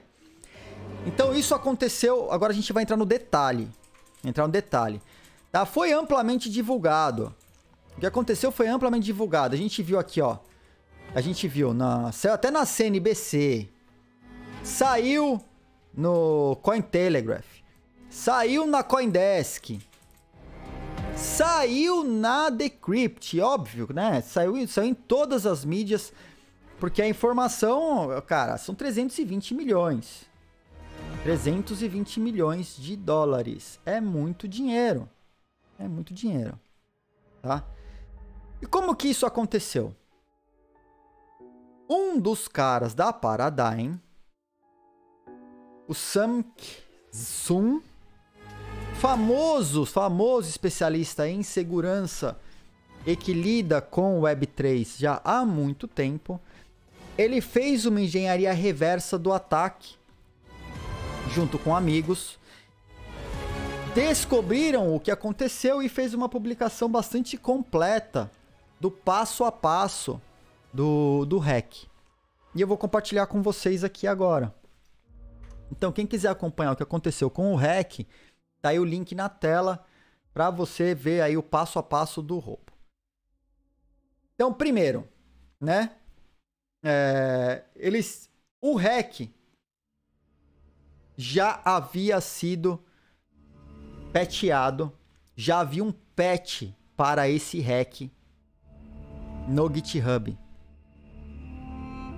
Eles só não tinham feito o deploy do smart contract. Então, o que, que chamou atenção? O que, que chamou atenção? A equipe do Wormhole já havia identificado a falha de segurança. Eles já haviam corrigido a falha de segurança no código-fonte. E o código é aberto. Quando eles publicaram. Oh, obrigado! Quem foi? Rakaz! Obrigado, Rakaz! Obrigado pelo Prime, tamo junto! Valeu pela força, obrigado e pela confiança. Obrigadão. Alan Barré, obrigado pelos bits também, tá? Ednei Dev, valeu a força também. Então, o que aconteceu? O, o código já havia sido corrigido. Ele já havia identificado a falha. Subiram a falha pro GitHub. Só que eles não tinham feito deploy do código. Vamos comparar essa, é, é, esse modelo de, de funcionamento com o que aconteceu com a Polygon. A Polygon, um white hacker também identificou uma falha na Polygon que poderia, tipo, drenar milhões, bilhões de Matic. Eu não sei quantas Matic tem no total. Mas muitas Matics comprometeria a rede da Polygon inteira. A Polygon foi muito criticada pela forma, pela, a, pela atitude que eles adotaram frente ao problema, que foi, cara, vamos primeiro corrigir. Corrigiu, subiu os smart contracts, fez o fork, coordenou com os validadores, tudo debaixo do radar. Depois que eles corrigiram a falha porque ela era muito séria, eles subiram o código no GitHub. E nesse tempo em que eles corrigiram a falha e não tinham subido ainda a correção no GitHub, eu mesmo fui um que critiquei. Vocês me acompanharam aqui no Morning Crypto falando da Polygon, que tinha feito um hard fork no bloco zero, no bloco Gênesis. E não tinham falado por quê. Eles só, aí eles vieram com uma nota só falando, ó, oh, a gente vai, vai falar, a gente vai fazer o pós-mortem, a gente vai dar o disclaimer depois, mas a gente ainda precisa fazer um, trabalho. Aí os caras primeiro fizeram hard fork porque era muito sério, coordenaram com os validadores, arrumaram tudo, fizeram uma ultra auditoria no sistema. Depois que estava tudo certo, estabilizado, aí eles publicaram no GitHub e vieram já com um pós-mortem avisando, galera, estivemos expostos a uma vulnerabilidade que não foi explorada, mas fomos avisados a tempo, tomamos essa atitude para evitar que assim que nós publicássemos a falha, alguém começasse a explorar a falha imediatamente, antes que a gente tivesse tempo hábil de fazer o fork e fazer as auditorias para ver se estava tudo funcionando direitinho. Essa foi a atitude da Polygon, tá? Andrew, vai nascer um, um bebê real? Real? Parabéns, parabéns. Parabéns, prepare-se aí. Fortes emoções, como disse Thiago Sass. Parabéns, parabéns, Nil Papai. E aí, a Polygon teve essa atitude. A Wormhole fez o que a Polygon não fez. Eles primeiro publicaram no o código-fonte da correção. Havia alguém, muito provavelmente, monitorando o GitHub da Wormhole, viu que teve uma, um update em alguma coisa, comparou, entendeu do que se tratava, olhou para a rede e falou: Eita! É assim? Tem isso aqui? Dá para fazer isso? Foi lá e fez. Então o que ele fez aqui ele fez na ponta solana da rede. Tá? Fez na ponta solana. Mas, presta atenção. Pode ser que a ponta terra ainda tenha vulnerabilidade. O pessoal da Certic fez uma análise de todo o problema que aconteceu e diz que existe uma possibilidade dessa vulnerabilidade estar disponível na ponta do blockchain Terra também. Tá? Talvez não tenha o deploy acontecido lá ainda. Então, se acontecer no Terra, fiquem espertos aí, porque existe uma possibilidade, tá? Vamos lá ao problema, então. Então, eu expliquei como que o, o hacker achou o problema e como que ele entendeu qual era a vulnerabilidade que estava disponível, porque ela foi exposta e a correção não foi aplicada, né? Publicaram a correção, mas não fizeram o que a gente chama de deploy dos smart contracts já corrigidos. Então a vulnerabilidade estava ativa, estava na versão ativa. Então, uh, vamos lá. Primeiro, eles tinham que determinar onde que o exploit ocorreu, né? Porque os caras estavam fazendo aqui, fizeram engenharia reversa. Eles não foram lá no código fonte olhar. Eles foram na engenharia reversa. Então eles foram lá, baixaram o código do smart contract, aqui que ele vem, né, com todo encodado, tal. E aí acharam o seguinte, fazendo uma, dando uma olhada lá, ele falou: "Hum, foi na bridge". Já se imaginava, porque até então não sabia se tinha sido na bridge do lado Ethereum ou do lado Polygon. Aí eles olharam os dois lados e acharam assinaturas provenientes de um endereço diferente no lado da Solana. Então falaram, opa, não foi do lado do Ethereum. Foi do lado Solana que isso aconteceu. Beleza. Aí, os caras foram olhar lá, falou, putz, é... aparentemente aqui o cara conseguiu movimentar a pá de moeda, né? Porque olhando o endereço do cara, o cara conseguiu movimentar 120 mil Ethers. Tokens de Ethers. Lembrando que para você, até esse momento, ele tinha 120 mil tokens, era W Ether. Desses 120 mil tokens, ele mandou 90 mil para desbloquear na rede do Ether original. O que aconteceu nesse momento? O que era para ter um para um, um token travado para um token livre na rede da Solana, passou a ter menos 93 mil tokens bloqueados e um monte de token correndo livremente sem o seu lastro devido na bridge. Então são tokens que estão aí na rede do, da Solana que não representam mais o Ethereum. São tokens do Ethereum que não representam o Ethereum. E que podem ser sacados a qualquer momento. Né? É muito token, 93 mil tokens. a primeira coisa que o cara fez foi pegar um monte de token WEther, conseguiu gerar e sacou lá do outro lado do Ethereum. Então ele conseguiu liberar para ele mesmo do fundo lá da bridge o equivalente a 93 mil tokens originais do, do Ethereum para ele. Tá? E como que ele conseguiu desbloquear esses 120 mil tokens? É aí que, falou, caramba, o que, que o cara fez? Desbloqueou? Criou moeda? O que aconteceu? Aí olhando no smart contract, na, na verdade nas transações, ele viu que tinha sido executada essa instrução número 03 né? Lá no, no wormhole, a instrução número 03. Aí ele foi lá olhar no código fonte e foi olhar, bom, qual que é a instrução 03? Né? Então aqui, 0, 1, 2, 3. Hum, essa complete wrapped. Complete wrapped são as funções relacionadas à emissão dos tokens, né? Se o, a partir do momento que o token foi wrappado de um lado, tem a fazer a liberação de novos tokens do outro lado.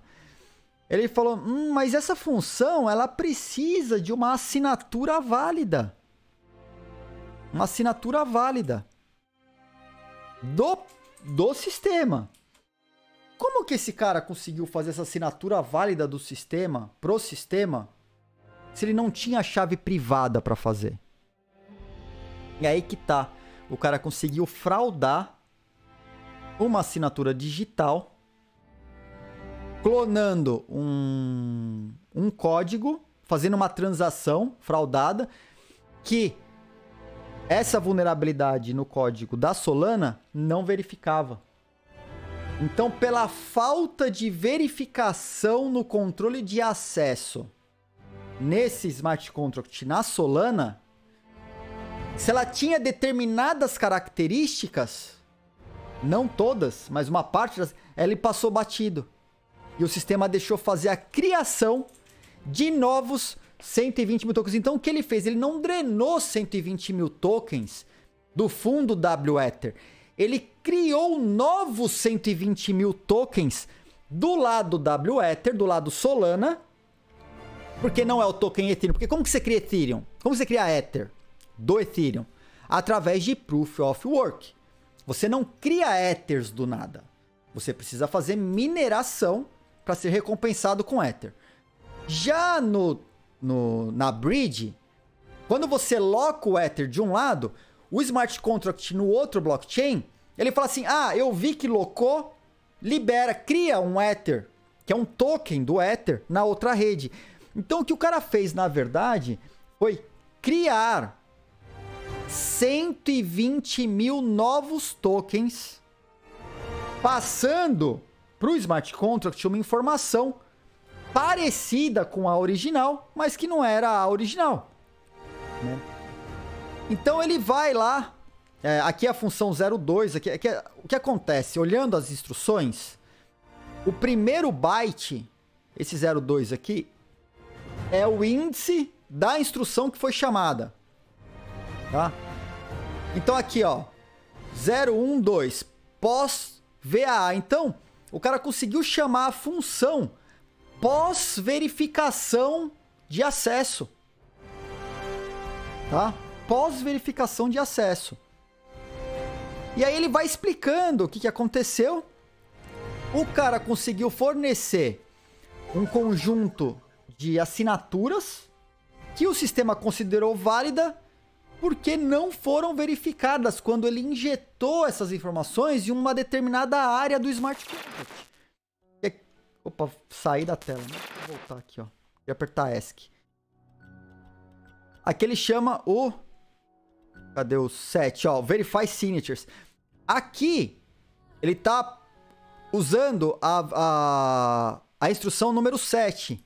A instrução número 7 é a de verificação de assinaturas. E eles foram puxar o código-fonte dessa instrução de verificação de assinaturas, né? E o próprio smart contract não faz a verificação de assinaturas por si só. Ele passa isso para um outro sistema que faz uma verificação só de integridade, mas não se aquele endereço poderia fazer aquela assinatura tá? E aí, com isso, com isso, ele conseguiu, como se fosse uma assinatura válida, ele bypassou, fez um bypass na, na área de verificação de assinaturas e o si conseguiu a liberação do equivalente a 120 mil tokens. E ele vem descrevendo aqui né, as funções sendo chamadas, os endereços, ó. Aqui é um conjunto de assinaturas e ele brinca mostrando o endereço. Esse endereço aqui é o do fraudador. A rede da Solana, não é a rede da Solana, né? O smart contract não poderia nunca ter liberado a funcionalidade por causa desse endereço. Ó, esse aqui foi o endereço que fez a solicitação e esse cara não é um endereço válido. Ele só mostrou uma assinatura com características de assinatura válida. Tá? No meio de outras assinaturas que seriam legítimas. Fazendo esse bypass, o sistema criou 120 mil W-Ethers, emitiu 120 mil W-Ethers, que esse cara, o que, que ele fez com 120 mil? 93.750 ele mandou de volta pro Ethereum para sacar como Ether. Para sacar como Ether. E conseguiu pegar o restante, transformou em diversos tokens, numa porrada de shitcoin. Uma porrada. Porrada. Os caras fizeram uma estimativa aqui que de shitcoin que esse cara transferiu. Eu não sei se é nesse artigo aqui que tem a lista de shitcoins que ele converteu. Não é nessa. Deixa eu ver se eu acho aqui. Tem um desses posts aqui, tem uma lista de shitcoins que o cara... Hum. Ele deixou 40 mil na Solana. É esse aqui? Não é. Deixa eu ver mais um para trás. Deixa eu ver se eu acho aqui. Nas outras moedas que o cara... Aqui, ó. Aqui. Tá no, tá no texto da Cointelegraph. O cara usou parte dos fundos para comprar Sports X. Eu nunca ouvi falar. Meta Capital, não tenho a mínima ideia. Finally Usable Crypto Karma. E Body Apes. Comprou macaco. Macaco chateado aí. Tá? Comprou isso aí. Aí ele converteu um monte no Ether, tudo e chegou no total, no total de tudo, seria aí mais ou menos 321 milhões de dólares total desse hack com que o cara conseguiu fazer. Tá? Intenso, né? Como que ele conseguiu as outras assinaturas? Porque elas funcionam por transações. Uh, Semar, Semar Augusto, Augusto Semar. É, ele, o que acontece? Você faz as transações porque muitas das vezes as assinaturas elas são coletadas de maneira assíncrona. Você não tem todo mundo assinando e as assinaturas indo para a mesma transação. Você faz transações com a assinatura legítima, que junto com outras assinaturas, ela acontece. Então, ele chamou uma função que o sistema, entendendo que era tudo real, fez a emissão das moedas. As outras assinaturas, se ele de repente não tivesse mandado essa assinatura junto, ou fosse uma assinatura falsa, o sistema não teria aceitado. Mas ele foi etapa por etapa, entendendo como funcionavam os smart contracts, onde que o smart contract fazia o bypass pela verificação do controle de acesso, não pelo endereço, mas sim pelo conteúdo, né? E chamou uma função. E ela rodou chamou a função e a função rodou. E nessa que a função rodou, emitiu W-Ether, não emitiu Ether. E ele não desbloqueou os Ethers na ponta do Ethereum. Ele criou Ethers falsos, é, novos tokens de Ether sem lastro dentro da rede da Solana. Então ninguém perdeu token. Ele criou novos tokens. Como ele criou novos tokens, quando ele volta no W Ether e fala assim, ó, quero trocar por Ether. Aí ele fala, beleza. Ele só pega o W Ether, queima, troca por Ether, te libera Ether do outro lado. Como que o Smart Contract tem o poder de criar W Ether? Ele tem o poder, Scus, e é necessário que tenha, porque estamos falando de bridges. Estamos falando de redes que. É, é, é, uma, é uma conexão entre duas redes. Que ela, você vai bloquear o token em uma rede e liberar uma cópia daquele token na outra rede. Então, o smart contract, para ela funcionar direitinho, ele não pode liberar um token do lado da rede B sem ter o lastro, sem ter a garantia que aquele token está travado na rede A. O que esse cara fez foi manipular o smart contract que tem o poder de, de criar e queimar tokens na rede B, sem que esse sem que esse smart contract fizesse as devidas checagens na rede A. Ele enganou o token, né?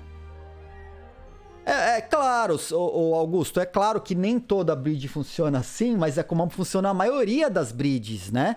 A gente tem que pegar o problema que aconteceu aqui, que é um problema que acontece na grande maioria das bridges. Obviamente, a implementação delas são diferentes, elas têm funcionalidades distintas. Inclusive, a forma que ela usa para verificar se o token de um lado foi travado ou não. Então, não, Haas, o que aconteceu no lado Solana é que foram criados extras 120 mil tokens. Com essa falsificação de novos 120 mil tokens, ele não drenou. A gente viu ataques de drenagem de tokens. Esse, to esse, é, esse, esse, é, essa falha não foi de drenagem. ele gerou novos tokens WEther na rede da Solana que não tinham garantia e lastro na rede do Ethereum.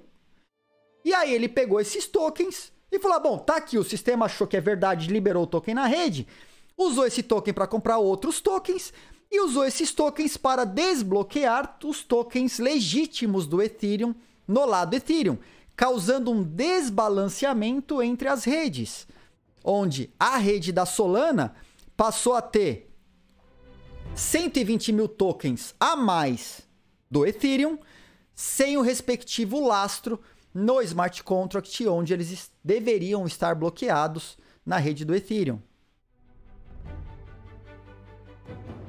Porque não estava travada a opção de criar token. Então, Alexei, a questão é que ela é travada.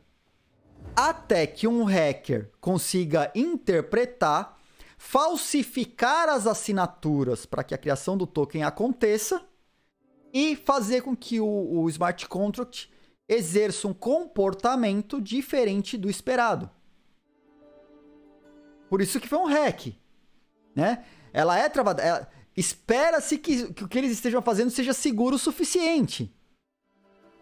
Só que o cara, por ter, ter tido a oportunidade de olhar o smart contract, o, o código do smart contract, antes que a atualização fosse publicada, o cara viu que a, a vulnerabilidade estava ativa ele recriou os passos porque ele olhou o código-fonte e entendeu onde que estava o problema. Foi lá e achou um jeito de imprimir a, a, o, o Ether, o token do Ether, na rede da Solana, fazendo parecer que fosse o token legítimo. Isso, eles falaram que vão, vão repor. Eles falaram que vão. Que é para não, pra não ficar preocupada que o, os Ethers que saíram do lado Ethereum, porque o cara sacou, né, de 120 mil, ele sacou 93,750 em Ethers originais no Ethereum. Ele sacou esses Ethers, né? E aí é Ether, é Ether. Aí saiu do smart contract, desbloqueou, foi para a rede e já era, né? Alex, então ainda dá para criar mais token? Não, não dá porque eles já fizeram o deploy. Tá? Já fizeram o deploy. Então, o, o que eles não tinham feito, que era fazer o deploy do Smart, eles fizeram. Fizeram. Quem vai cobrir esse rombo? Se a FTX, que a, essa notícia está vindo no chat, eu não tenho a informação, eu tenho a informação só que o CEO lá do projeto tal disse que o recurso seria reposto. Como? Não está claro. O chat está falando que a FTX falou que vai cobrir. Não sei, não tenho essa informação, não vi essa informação em lugar nenhum. Agora, quem tem que repor? Ninguém, cara. Ninguém. Uai, é assim, como que você repõe um Ether que foi roubado? Ou você minera 93.750 Ether e coloca, ou você tem em caixa. Se você tiver 93.750 Ether em caixa, aí você vai reabastece o Ether lá e vê o que faz com o smart contract do, do, do lado da Solana né? Porque já foi convertido. Já foi, deixou de ser WEther. Virou Ether e outras moedas.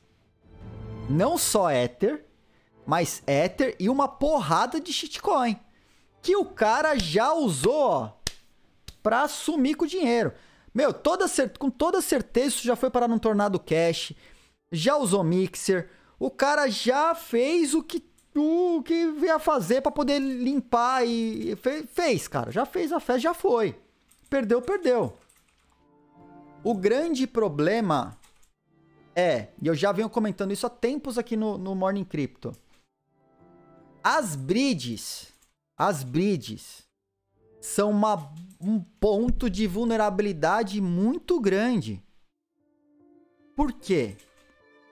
A bridge, ela precisa ter um smart contract na rede original, fazendo, recebendo rodando os tokens de garantia dos tokens que ela vai criar do outro lado. Se houver um hack, há um desbalanceamento entre lastro e moeda emitida. Então você passa a ter um monte de moeda emitida sem lastro, ou você vai ter a drenagem dos recursos.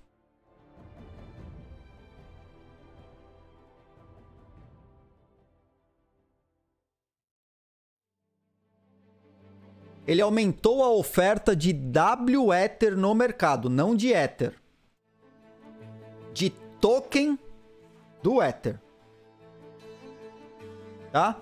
Ele aumentou, o que ele fez foi aumentar a oferta de W Ether, que é o Ether rapado, é o, é o Ether tokenizado na rede da Solana. Ele aumentou a oferta desse token, sem ter o respectivo lastro desses tokens sendo holdados em um smart contract de garantias na rede do Ethereum. Aí como ele conseguiu criar tokens do nada? Token. É token. Criou um token do Ether. Do nada na rede do, da Solana.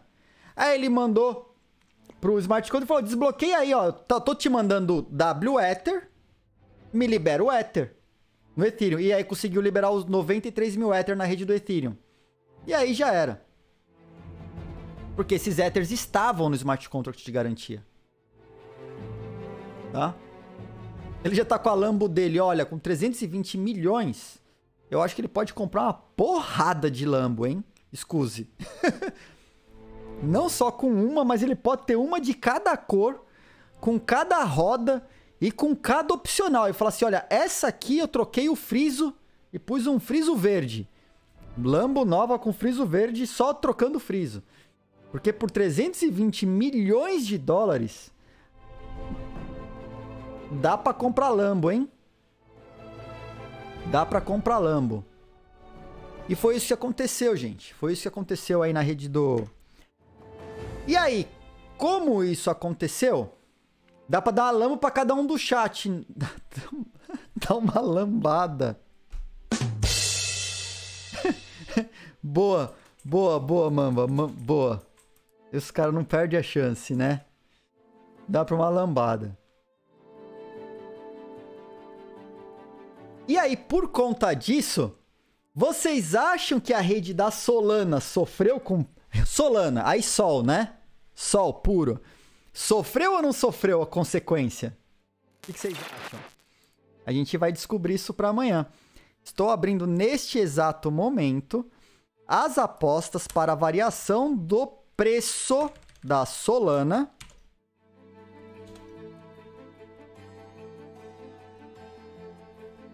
Tá aqui, ó, já está aberto, tá no chat para vocês.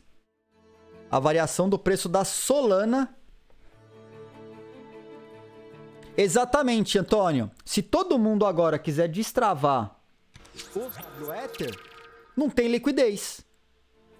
Não tem. Tá, teve um desfalque gigantesco porque não tem liquidez, porque tem mais W Ether na rede do que o Ether que está travado naquele smart contract.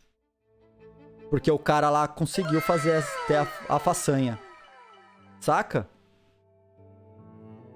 Joker32, obrigado pelo follow. Black Nipples Music, obrigado pelo follow. Celo Sup, valeu pelos sete meses, valeu pelo Prime. Tamo junto. Tá?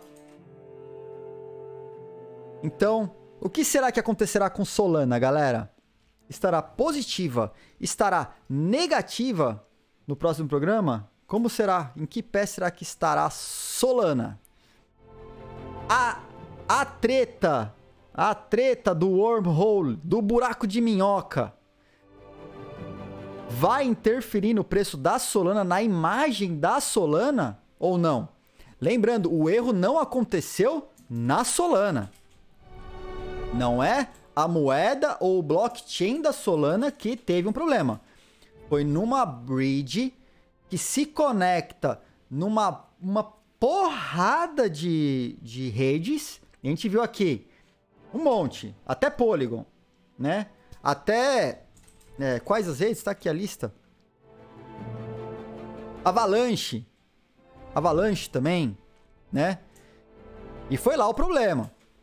Num smart contract na rede da Solana. E, detalhe, a Certic emitiu uma nota dizendo que existia a possibilidade do lado Terra, no blockchain do Terra, estar com a mesma vulnerabilidade.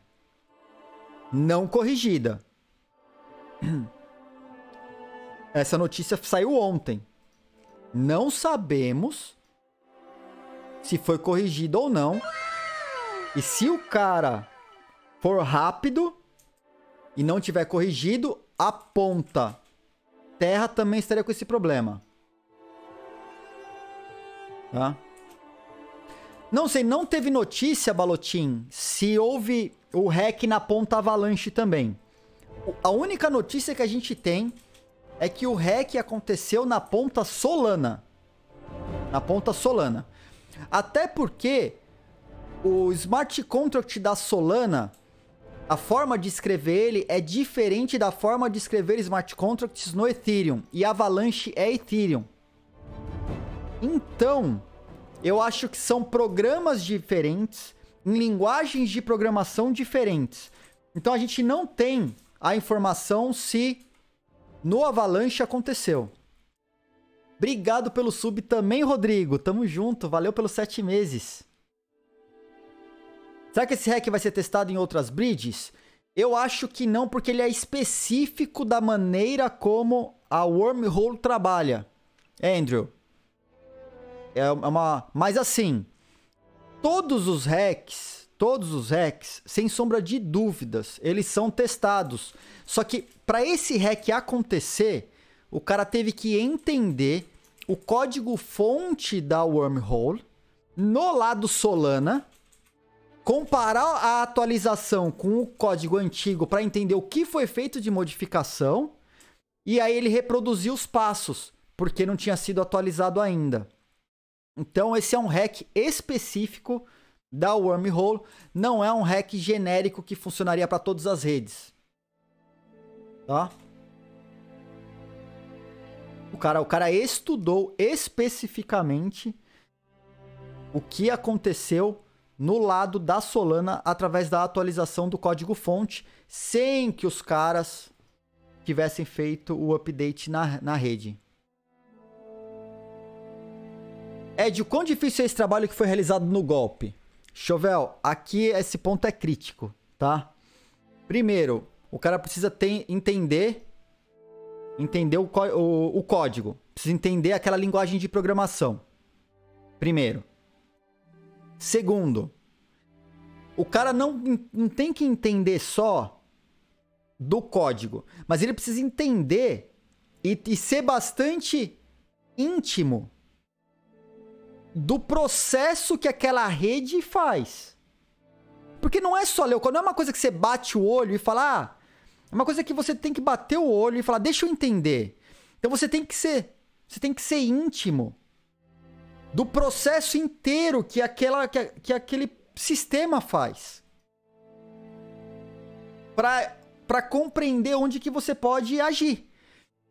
Então assim, existe a possibilidade de ter sido alguém interno?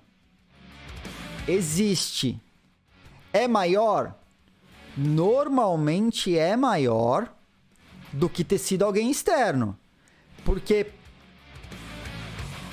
se é alguém que tem intimidade com o que com o processo, com o formato, com o comportamento daqueles smart contracts,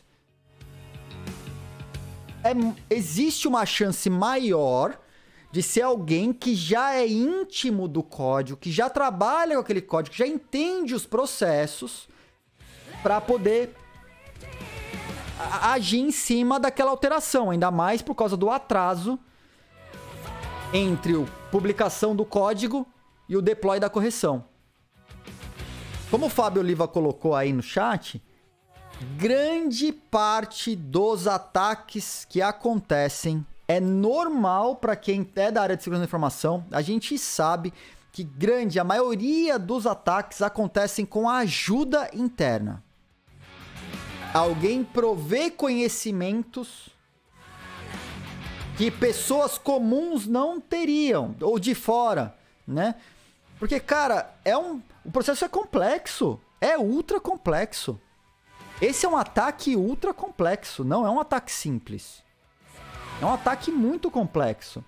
E precisa ter conhecimento não só da linguagem, mas também do comportamento e o processo que é executado dentro dessa bridge específica.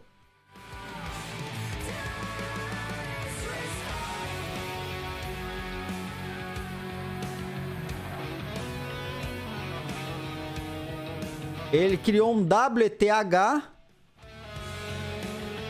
dessa rede. Né? Criador Z, obrigado. acabou de dropar aí quatro subgifts. Obrigado, Criador Z. Valeu pelos quatro subgifts aí, ó. Whispering Ravens. Luciano Rocha, River City e Jaimin. Jaimin, vocês acabam de se tornar membros do bloco. Parabéns! Saibam que vocês vão poder participar do sorteio da Ledger Nano X. Então, logo cheguemos aí à nossa meta de 350 inscritos. Estamos com 44, 13% da meta foi atingida, tá? E vocês já podem participar da DAO. Não tomam mais ED, pelo menos pelo próximo mês, enquanto estiver com a inscrição ativa, tá? E pode participar dos sorteios feitos aqui exclusivamente para os inscritos. Kim também acaba de dropar um subgifts aí, ó. Danin Cruz, Kleber. Ó, vocês também acabam de ser presenteados pela Kim. Agradece a Kim. Galera, agradece o Criador Z, tá? Que dropou os subgifts para vocês aí e os tornou membros do bloco, mineradores de bloquitos, porque quem é membro do bloco minera bloquito mais rápido. Não, não deveria tomar, não. Não deveria tomar Ed na Twitch quem é sub, não, Murilo. Eu acho que pode ser que talvez não seja no mesmo dia, talvez amanhã, não sei se é na mesma hora, porque as próprias estatísticas da Twitch demoram, tipo, mais de um dia para atualizar a quantidade de. Atualizar as estatísticas, né? De views, de subs, essas coisas, demora mais de um dia para atualizar os sistemas da Twitch. Pra gente que é streamer. Imagina para computar é, sub pra, pra quem acabou de dar, ter sub aí. Os caras não têm o mínimo interesse, eles querem que você tome ad, né? Olha lá, 20 minutos pra cair o sub e não tomar ad em nada. O Alexei acabou de mandar aí no chat. Tá? Ô, oh, oh, olha, olha, olha lá, olha lá, ó. Não entra lá do chat, não. Não tem pedágio, não. Galera do chat querendo cobrar pedágio de quem acabou de ganhar sub. Não tem pedágio, coisa nenhuma, não. Não tem essa história, não. É alastro. É alastro. É alastro, tá? Ô, oh, Felício, bem-vindo, bem-vindo, bem-vindo. Vamos continuar falando de golpe? Eu tenho mais dois para falar. Vamos falar de golpe. Teve esse, bom, super pode explicado aí. de olhos fechados. Ah, não pode confiar no chat de olhos fechados de jeito nenhum, nem de olho aberto. Nem não não dá, não confia, não entra nessa. Não entra nessa. Um youtuber, um youtuber fez um rug pull de 750k. Aí o cara foi entrevistado. Por que, que o cara fez o rug pull? Ele, ele criou uma coin do canal dele. Ele criou, criou uma coin do canal dele. Aí, ele pegou falou pra galera investir lá num que se investissem numa pool de liquidez, uma liquidity pool, lá na Binance Smart Chain, as pessoas ganhavam mais e tal. Então o cara criou a coin, vendeu a coin pra galera do, do chat dele lá, provavelmente, pra comunidade dele. A galera investiu na coin do cara, né? E aí, e aí, gente, ah, ele era streamer e foi dar entrevista pra youtuber? Ah, pode ser, né? Aqui no Cointelegraph aqui pode ser youtuber. É, eu, eu não conheço o cara, tá? Ah, é, colocaram aqui como American youtuber e detetive da internet. Ah, não, Coffeezilla. Isso aqui foi o Coffeezilla que publicou uma entrevista com o youtuber Paul Denino, Ice Poseidon. Poseidon. Puseram como youtuber, eu acreditei. Eu não conheço, o cara. Eu sei lá, né? Bom, streamer, youtuber, galera. Fica esperto nos caras que vão lançar, as, que lançam as moedas.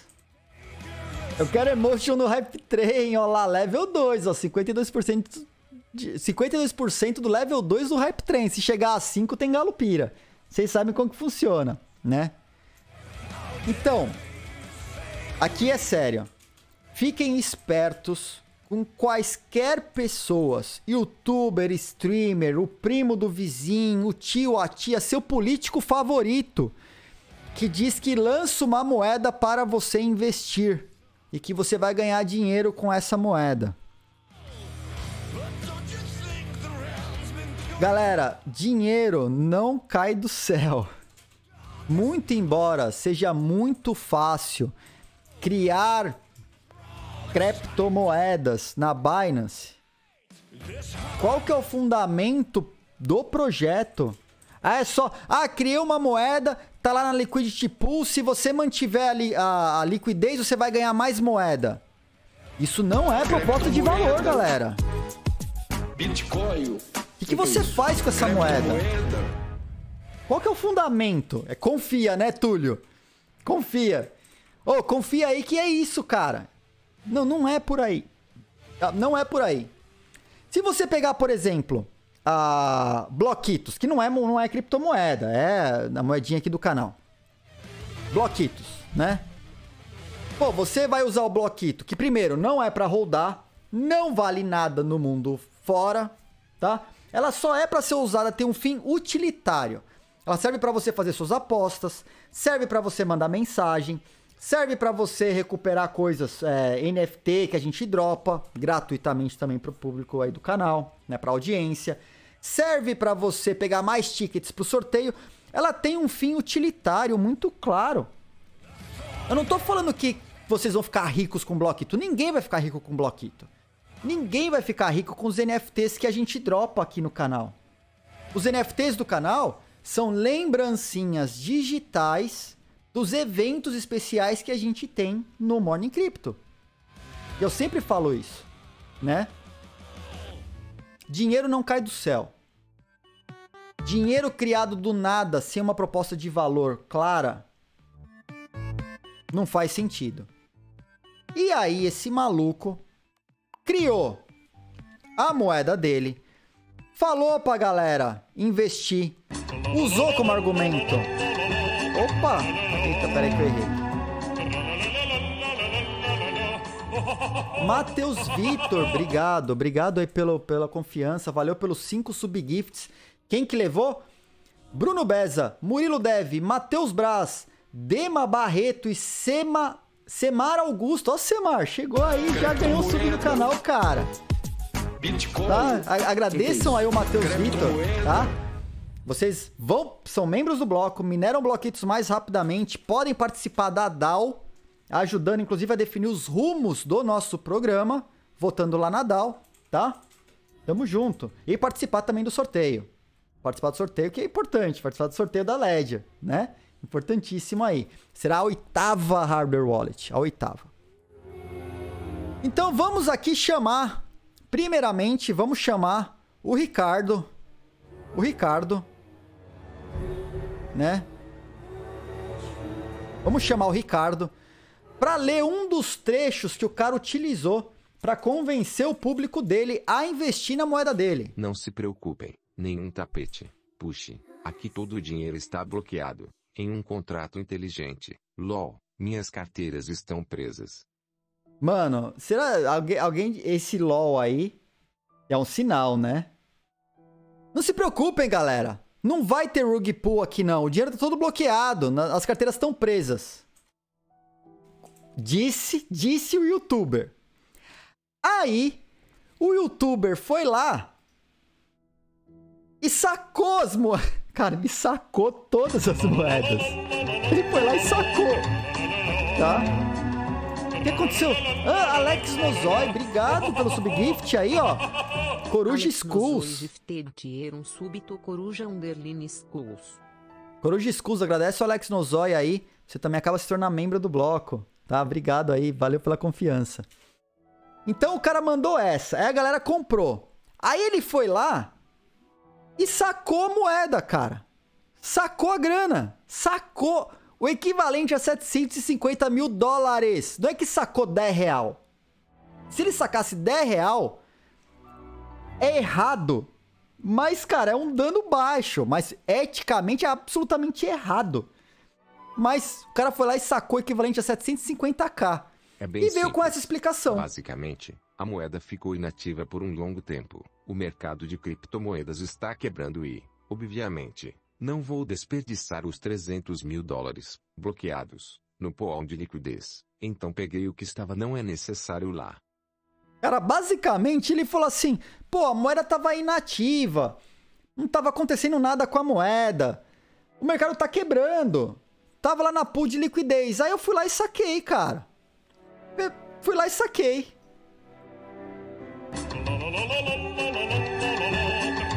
Cara. Aí sabe. O que, que ele falou depois? Deixa eu achar aqui o texto em inglês, que eu lembro do mais ou menos em inglês que ele falou. Tá aqui no começo. Cara, a fra... olha essa. Aí ele deu entrevista, né? Aí ele foi entrevistado lá pelo outro youtuber. O youtuber falou: Ô, cara, você não achou errado tal? Você vai devolver a grana? O que, que você vai fazer com o dinheiro do pessoal? Aí chamar o Ricardo. Ricardo, o que, que ele falou pro youtuber? Sim, eu poderia devolver o dinheiro. Está ao meu alcance, mas vou cuidar de mim mesmo e não fazer isso. Mano, que, quem que é esse cara, velho? Que, mano, desgramento, velho. Orra! Galera, não entrem em propostas de investimento sem uma... Cara, não existe, cara. Assim, ó, é, é quase 100% dos casos é golpe, mano. O, o maluco teve o dom de falar na live, na entrevista pro youtuber, falou: Olha, eu até posso devolver, mas eu vou cuidar de mim. Não vou devolver, não vou fazer nada. Meu amigo. É muita cara de pau, cara. É muita cara de pau. Opa, level 4 aí, ó. 69%. O que aconteceu? Fábio Oliva do- dropou 5 subs aí no canal, ó. Quem, quem que ganhou? Vamos Golipira. Quem que ganhou? Numerax. Adriel 45. Não, isso aqui foi Alan Barre... Peraí, peraí, peraí, peraí que eu tô perdido. O Fábio Oliva dropou 5 subgifts para Numerax, achei. Marcelo Sussa 1, Rafael Black e Adriel 45. E Pegasus BR, Pegasus BR. Meteoro de Pegasus aí, cara. Agradece o Fábio Oliva, vocês se tornaram membros do bloco. Obrigado, Fábio, pelos 5 subgifts, cara. Brigadão. Obrigado, Alan Barré, pelos beats. Obrigado, Kim Demonha, pelos beats também. Estamos aí, ó, level 4, 74%. A galera tá afim mesmo de desbloquear o Galupira hoje. Eu tô de olho em vocês. Tô vendo.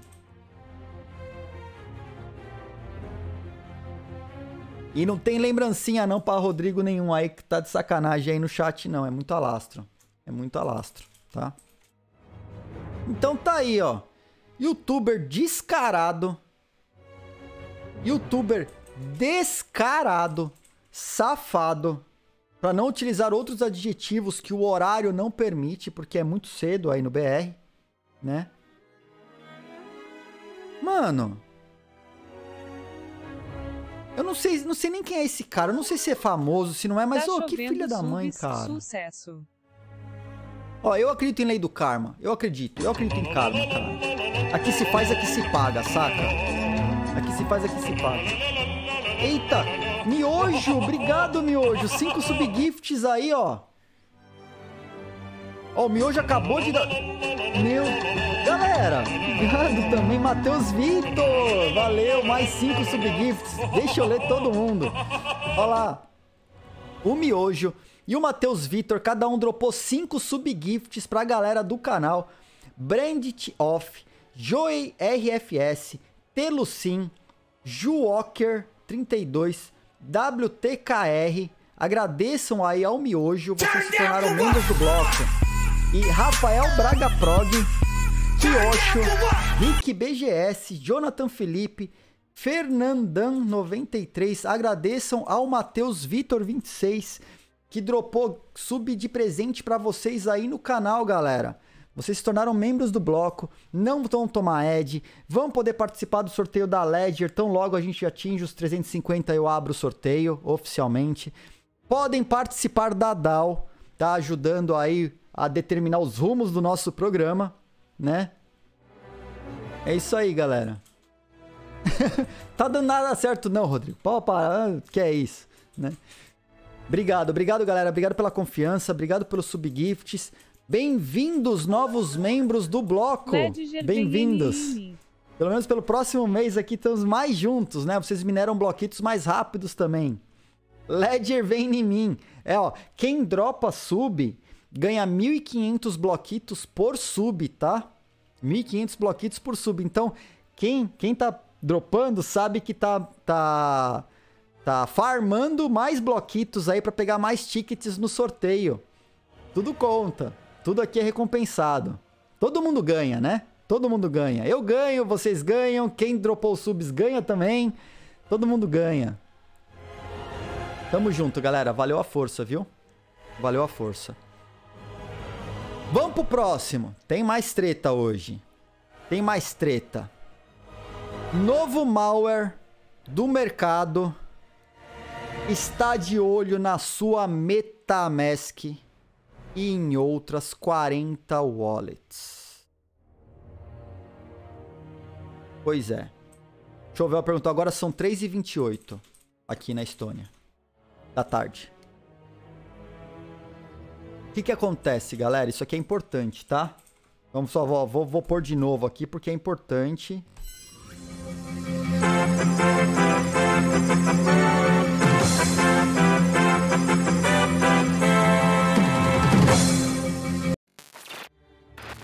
Então, o que, que acontece? O que acontece?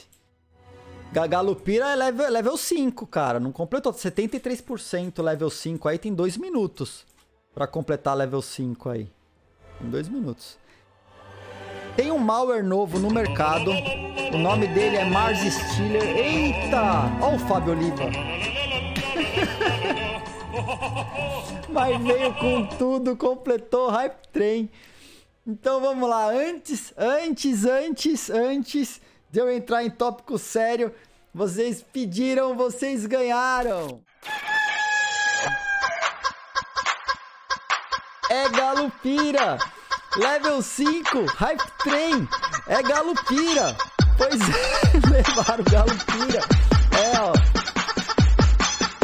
É Galupira.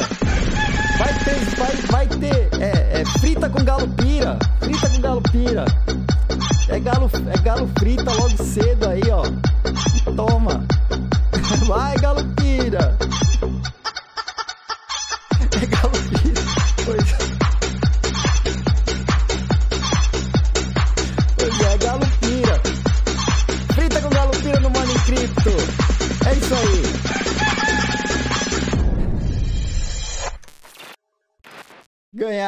Conseguiram desbloquear o Galupira. Oh, meu Deus.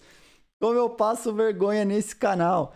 118%, obrigado, galera. Level 5, Hype Train aí, ó. 118%. Frita com Galupira. Tamo junto, tamo junto, viu? Pois é, pois é. Vamos voltar e falar de coisa séria agora. Bitcoin. O que, que é isso? Criptomoeda. Nossa, que agora tem emote animado de Galupira aí também, né? Olha lá. obrigado, Kiko, obrigado. Olha só, galera, o Kiko acaba de dropar aí 9 sub 10 subgifts de presente 10 subgifts de presente pro chat. Achorius, Nelson Connect, Gabriel Moraes, Grande Heart, Grande Heart, Squish Chagas, Éder Queiroz, Snizen Effect, Vitor 66 Barbosa e Anram 708. Anram 708. Obrigado, galera. Vocês acabam de se tornar membros do bloco, fazem parte do nosso do, daqui, da nossa comunidade oficialmente, né? Podem assistir a live sem Rosas são Ed. vermelhas, violetas são azuis. Quero ver Quero ver transferir transferir Shiba sem ficar assim. puto. Ótima, ótima, ótima. Essa aí, quero ver, quero ver Chibento. Aqui, achei. Quero ver Chibento transferir Shiba sem ficar pá. Quero ver, quero ver, né? Os caras vão lá, é, sou da Shiba, sou da Shiba. Aí vai lá transferir Shiba, não transfere porque cobra 100 doll pra transferir a Shiba, né? E aí o cara acaba ficando com a Shiba pra sempre. Depois Isso é disso karma. vale uma dancinha Ed. Tem dancinha não, Kim. Tem, já, já teve aqui galopira já, meu. Já, né? O que que é? For- se for pra por ter dancinha, a gente vai ter que aumentar essas metas aí, cara. Não dá, não.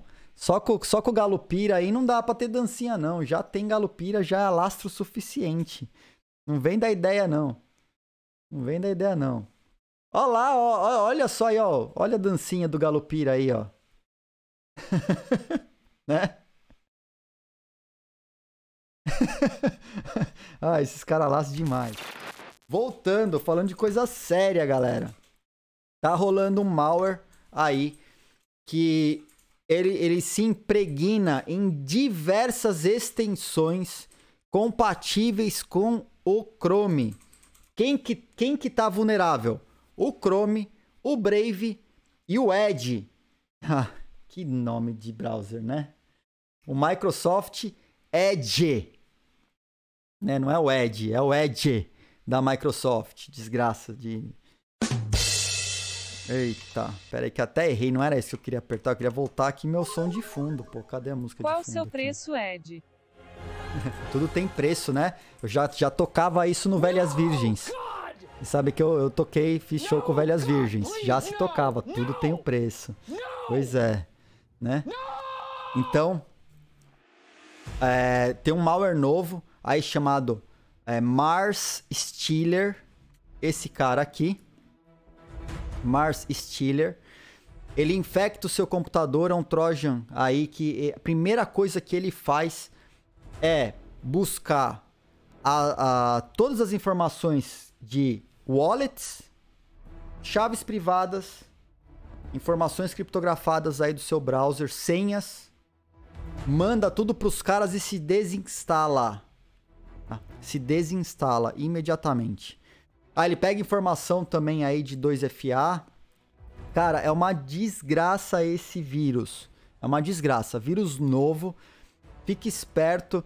E ele faz uma coisa interessante aqui. Ele verifica se a linguagem do seu computador, se o, se o idioma, se o ID do idioma do seu computador é do Cazaquistão, Uzbequistão, Azerbaijão, Bielorrússia. Se não for de nenhum desses, ele hackeia. Se for de algum desses, ele deixa quieto. Será que o dono, o cara que criou esse vírus, esse malware, está aqui pelas regiões? Porque, cara, ô, vamos combinar? Vamos combinar. O, o vírus fazer uma distinção aí. Se o cara tá no. É do Cazaquistão, Uzbequistão, Azerbaijão, Bielorrússia, e aí ele deixa quieto. Ô, é de brincadeira, né? Então o que acontece? Tomem cuidado, passem antivírus. Ó, hackers estão vendendo Mars Stealer por 140 dólares nos fóruns da Darknet, tá? Então, a, pra gente que quiser sacanear aí, a barreira de entrada é muito baixa. E aí, teve uma pergunta que a, a Rebeca me mandou no, no, no Instagram. Eu vou responder por aqui, não sei se ela tá assistindo. Bex, se você tiver por aí, manda um salve, tá? Que é o seguinte: Rebeca me mandou duas perguntas e eu vou respondê-las aqui porque elas são, são relacionadas ao assunto. Uma delas se relaciona. A primeira pergunta que ela me fez foi: Deixar o Bitcoin na Lightning Network, na Zibd, não equivale a deixar o Bitcoin na exchange? Ótima pergunta, tá? Vamos lá. A Zibd, como wallet da Lightning Network, você a ideia é que você deixe alocado na, na Lightning somente os recursos que você vai transacionar com alguém, né? Então você vai fazer transação com lojas, tal. Então é, você só vai deixar lá. O ideal é loca o recurso, utiliza em transações, faz microtransações e depois você saca o recurso para uma wallet sua. A Lightning não foi concebida para guardar indefinidamente as suas cripto, o seu Bitcoin. Ela não foi feita para você estocar Bitcoin lá. Ela foi feita como um meio transacional para que você possa fazer inúmeras transações que são confirmadas quase que imediatamente por um valor muito baixo. Então, põe o valor na Lightning, transaciona, não vai mais usar? Fecha o canal, retira o valor. Então a Lightning foi concebida para isso. Ela não foi feita para você guardar valores indefinidamente lá. A gente faz os sorteios dos bitcoins pela Lightning aqui, justamente para que as pessoas possam ter o wallet Lightning e ter algum valor na Lightning para se um dia aparecer na frente de uma loja que estiver vendendo um cafezinho e você de repente quiser pagar, né, dar aquela, oh, vou, posso pagar com Bitcoin? Paga. Você pega a sua wallet e pau, paga com Bitcoin. Então, a Lightning foi concebida para fins transacionais, não para ser storage, não para ser carteira indefinidamente, tá? Então, a ideia é que, ah, acumulei um SATs lá, saco SATs para sua própria wallet, para a sua wallet cust é, não custodiada, a wallet que está na sua mão, onde você é o dono da sua chave privada. Beleza? Respondida a um. Segunda, a MetaMask é uma wallet segura para eu ter as minhas cri criptomoedas? Para eu ter os meus tokens, meus NFTs? A gente acabou de ver sobre um vírus que invade o seu computador, rouba as informações criptografadas, tenta pegar as chaves privadas da MetaMask e outras wallets e mandar para alguém. Então, se você só tem a MetaMask, é perigoso. Por isso, por isso que fazemos o sorteio constantemente aqui no Morning Crypto e estamos aqui com uma meta de 350 para uma hardware wallet. Uma hardware wallet. Tá? Onde você vai armazenar suas criptomoedas offline. Esse, a, você pode conectar essa wallet na MetaMask. E aí a MetaMask vai assinar, você pode ter todas as suas criptos usando a MetaMask, só que elas estão guardadas aqui e não no browser. E não no browser. Que é aí que mora o problema. O browser pode ser hackeado. Vocês lembram aqui live do Fábio Oliva? Fabillions, a, a live está no YouTube. Falamos sobre diversos vírus e, e, e extensões do browser. Eu não consigo tirar vulneráveis... os meus olhos do plastiquinho. Ai, cara. É, eu tenho esse, eu tenho essa falha, viu? Eu tenho esse é uma falha de caráter. Você pode considerar isso falha de caráter, de personalidade? Ai, acabei de estragar aqui, ó. Eu, eu deixo o plastiquinho, cara. Eu acho, eu sou assim. O plastiquinho, ele vai decidir a hora que ele quer sair da, da wallet, cara. Não sou eu que vou determinar o futuro do plastiquinho. Eu não sou autoritário nesse nível. O plastiquinho tem a liberdade dele. Deixa ele ser livre, cara. Por que, que vocês querem influenciar a vida do plastiquinho? O que, que o plastiquinho fez para vocês, cara? A hora que o plastiquinho quiser, ele vai sair. Ele vai sair, né? O plastiquinho, cara. Que isso, cara, né? Deixa, os, deixa o plastiquinho, cara. Ele vai, ó, a hora que ele quiser, ó. A hora que ele quiser, ele, ele sai. Ele sai da wallet. Deixa ele, cara. Né? O plastiquinho segue a vida aí. então, por isso que a gente faz sorteio de hardware wallets aqui para incentivar. A melhor maneira de você guardar suas criptomoedas é de maneira offline. O browser está online e ele está sujeito a hackings, a plugins, a malwares que sejam instalados no seu computador.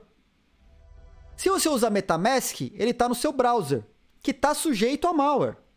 Então existe risco sim. Existe risco. Por isso que a gente incentiva que você guarde suas criptomoedas também de maneira offline. Guardar na MetaMask já é melhor do que deixar na Exchange. Mas saiba que existem vírus aí no mercado, malwares, olhando para o seu computador e, e tentando roubar coisas que você passa na memória. Ah, copiei e colei o endereço. Ele tenta interceptar e trocar para uma wallet dele. Copiei e colei uma chave privada. Ele vai tentar copiar a chave privada para ele. Ah, olhei, você tem MetaMask? Ô, deixa eu fuçar na sua MetaMask aqui, ver se eu tiro alguma coisa dela. E se tiver só na MetaMask no browser, talvez ele consiga acesso. Tá? Então, ideal é ter uma ou uma cold wallet em formato de hardware ou uma cold wallet em metal. Vimos aqui inclusive como produzir a sua. A gente a gente olhou ah, aqui no, no Morning Crypto, até mandei no Discord, na verdade, como fazer a sua própria hardware wallet em metal. Coloquei um exemplo lá legal. Powerbean mandou no chat. Para ter uma MetaMask segura, segura, seria interessante ter numa VM limpa só para isso? Melhor forma para você ter uma MetaMask segura. Se você tiver uma máquina virtual um Windows,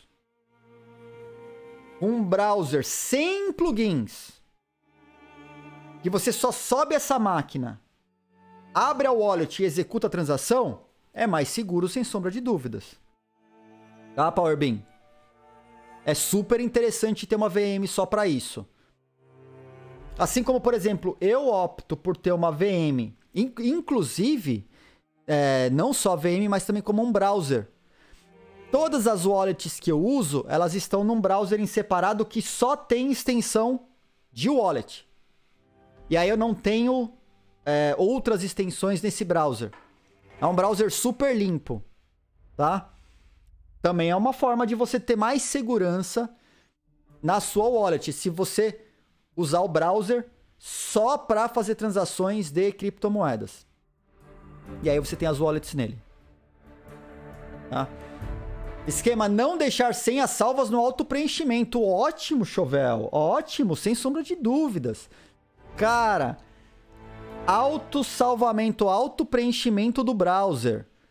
Ah, meu amigo.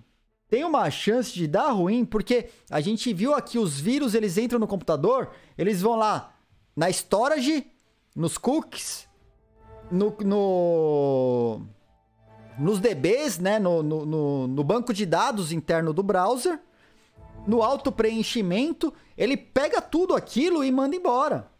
Depois ele vai decodificar. Porque o que tem de gente que preenche senha no campo errado e a senha fica salva no auto preenchimento, meus amigos, o tempo todo. Dá muito errado. Qual browser você usa para isso? Eu uso Firefox. Eu tenho um Firefox separadinho, só para trabalhar com coisa cripto. Inclusive aqui na live, vocês vão perceber que sempre que eu vou, por exemplo, entrar na DAO, mesmo aqui na live, que eu vou entrar na DAO, eu entro por um Firefox. Que nesse Firefox eu só tenho uma MetaMask aqui. É que não dá pra ver, né? Mas ela tá aqui em cima. E aí, ah, vou fazer, vou mostrar a DAO, vou mostrar, vou mostrar o, a loja na, na OpenSea, vou manipular alguma coisa. Aí eu tenho um Firefox. Esse Firefox só tem a MetaMask, não tem mais nada. Mais nada. Tá? E aí eu uso por aqui. Pra demonstrar. Eu preciso trazer aqui a análise do Terra ainda, que eu não consegui montar pra essa semana, mas tá pendente, eu vou trazer, tá? Foi votado na DAO. O pessoal votou, aprovou. E eu vou trazer esse conteúdo pra vocês logo mais. Então, até aqui na live, tá? Tudo que eu vou fazer que é cripto, eu faço num browser separado só pra ele, com, com a wallet só nele. Não, manipular cripto. Manipular cripto. Eu vou manipular cripto. Não manipular o preço da cripto. Eu vou manipular a cripto, né? É, Powerbean, a, a, a analogia que você faz é a mesma e tá super correta para segurança, tá? Quanto mais isolado o ambiente for para você manipular as suas criptos, para você manusear as suas criptos, vou dar ao invés de manipular, mani manusear as suas criptos, melhor. Quanto mais isolado o ambiente, melhor, tá? E ideal, se puder ser offline. Se elas puderem ficar num, num dispositivo offline que depende de conectar. Então a MetaMask, ela pede uma autorização para Ledger. Eu tenho que abrir a Ledger, dar um apertar um monte de botão um monte de vez para aprovar, então não passa tipo sem querer. Ah, roubaram a MetaMask, entrou um vírus, roubou o conteúdo da MetaMask, tá aí, consigo acessar os do, o edios.crypto, os domínio da Original My, essas coisas não vai acontecer, porque elas estão armazenadas na Ledger, tá? Beleza? Então, galera, vamos lá para o momento mais esperado da live, que é o sorteio. Chegamos ao momento do nosso sorteio.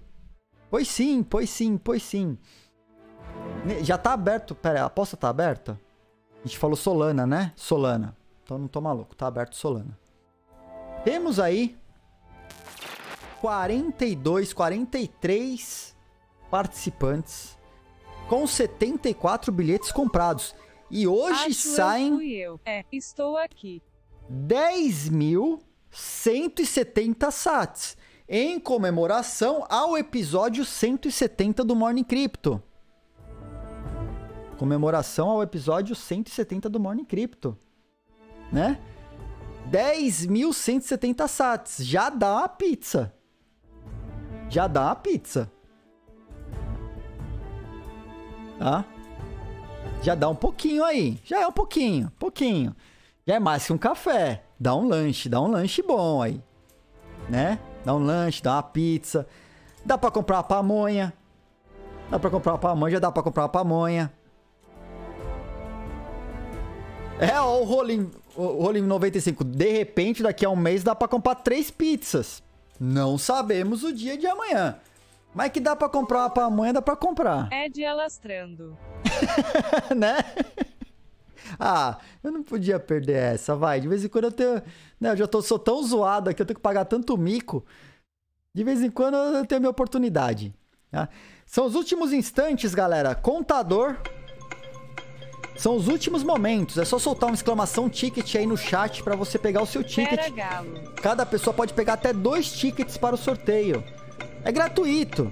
É gratuito. E você vai sacar esses satoshis com a sua wallet Lightning, tá? Se você não tem, faça download de uma wallet Lightning Network. Bitcoin Lightning Wallet, Wallet of Satoshi, Zibidi, Blue Wallet e outras. Pamonha, pamonha, pamonha. Né? E pastel Então- de angu também. Pastel de angu, essa aí, essa aí os caras mandaram, mano. Ai, meu Deus. Encerrado.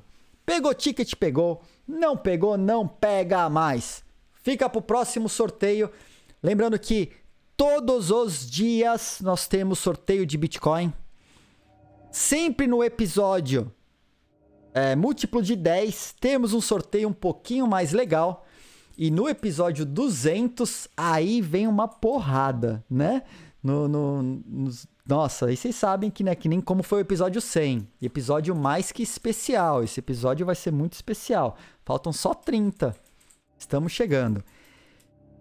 Então, galera, sem mais delongas, Que rufem os tambores. E quem será o feliz ganhador dos mais de 10 mil satoshis do episódio de hoje? Dalmaçonte! Quem é Dalmaçonte? Está no chat? Parabéns, lembra da regra, né? Galera cobra aí, faz contagem regressiva e tudo. Dalmaçonte, parabéns, está no chat, já foi encontrado. Já foi encontrado. Obrigado aí pela participação, né? Ó, a galera, a galera lastra muito, né? Criptomoeda. Dalmaçonte Não tá, tá. por aí, ó. Sim, tá sim, eu vi que tá. Não vem com história, não. Dalmaçonte, você ganha duas vezes. Vai ganhar os 10 mil satoshis e Bitcoin. ganha também... Criptomoeda. Pera aí, cadê aqui, ó? Não tá. Criptomoeda. Tá sim, tá Bitcoin. todo mundo vendo. que é isso? Criptomoeda. Ó, tô te mandando no chat, neste exato momento, o link pra você Bitcoin. sacar os Criptomoeda. 10 mil satoshis aí pra você, tá? Parabéns. Obrigado. Ó, link enviado, tá no chat. Pra sacar, você tem que usar uma wallet, uma wallet da Lightning. É só dar uma pistolada no QR Code e você recebe os seus satoshis aí, tá? É, você pode utilizar Bitcoin Lightning Wallet, Wallet of Satoshi, Breeze Wallet, Socializa sua pizza. Blue Wallet.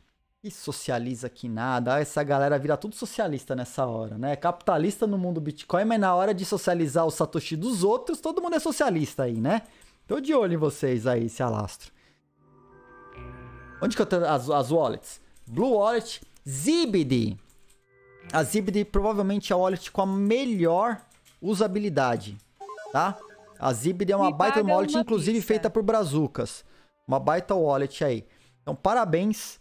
Saque o seu Satoshis, porque aí isso dá mais ou menos uns 5 dólares. 5 dólares, que dá, sei lá, 340 mil reais hoje. Manda para mim que eu guardo Mais ou menos cinco segurança. dólares? Está tendo muito hack.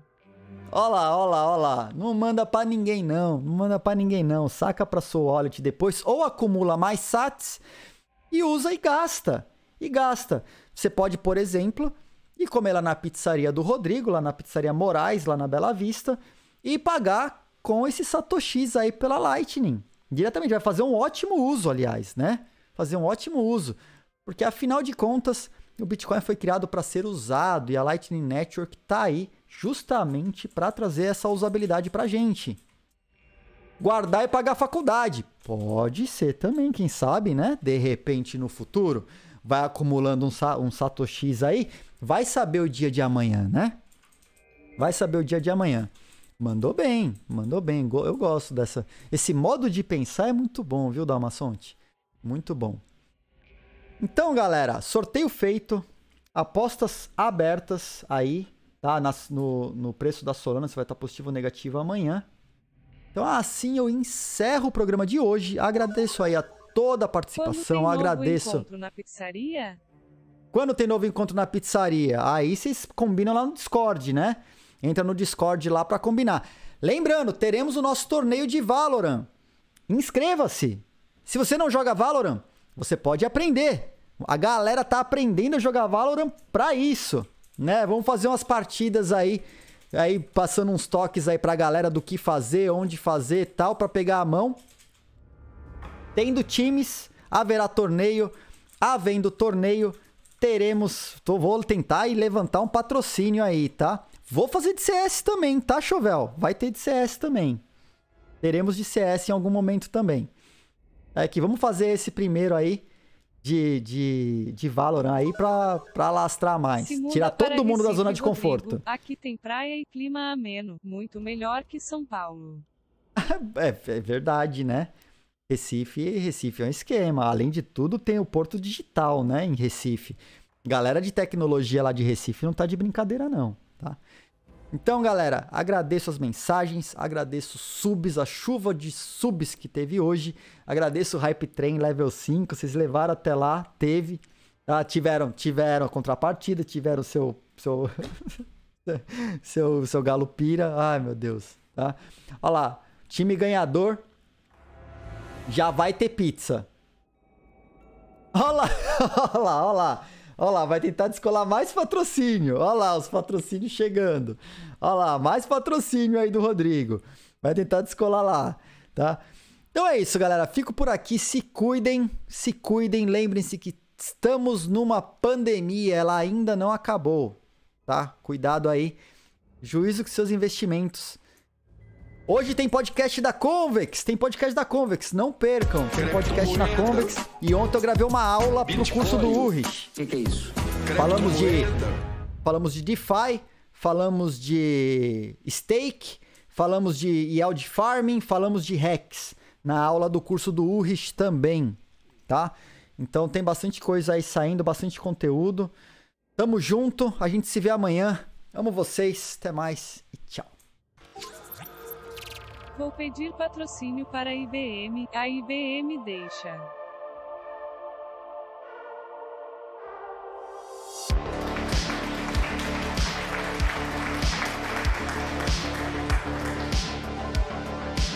Pera Galo.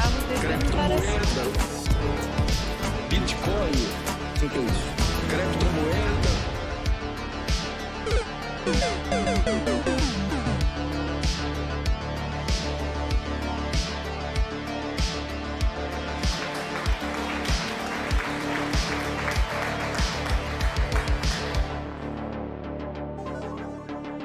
Galo tem. Chega tá banido.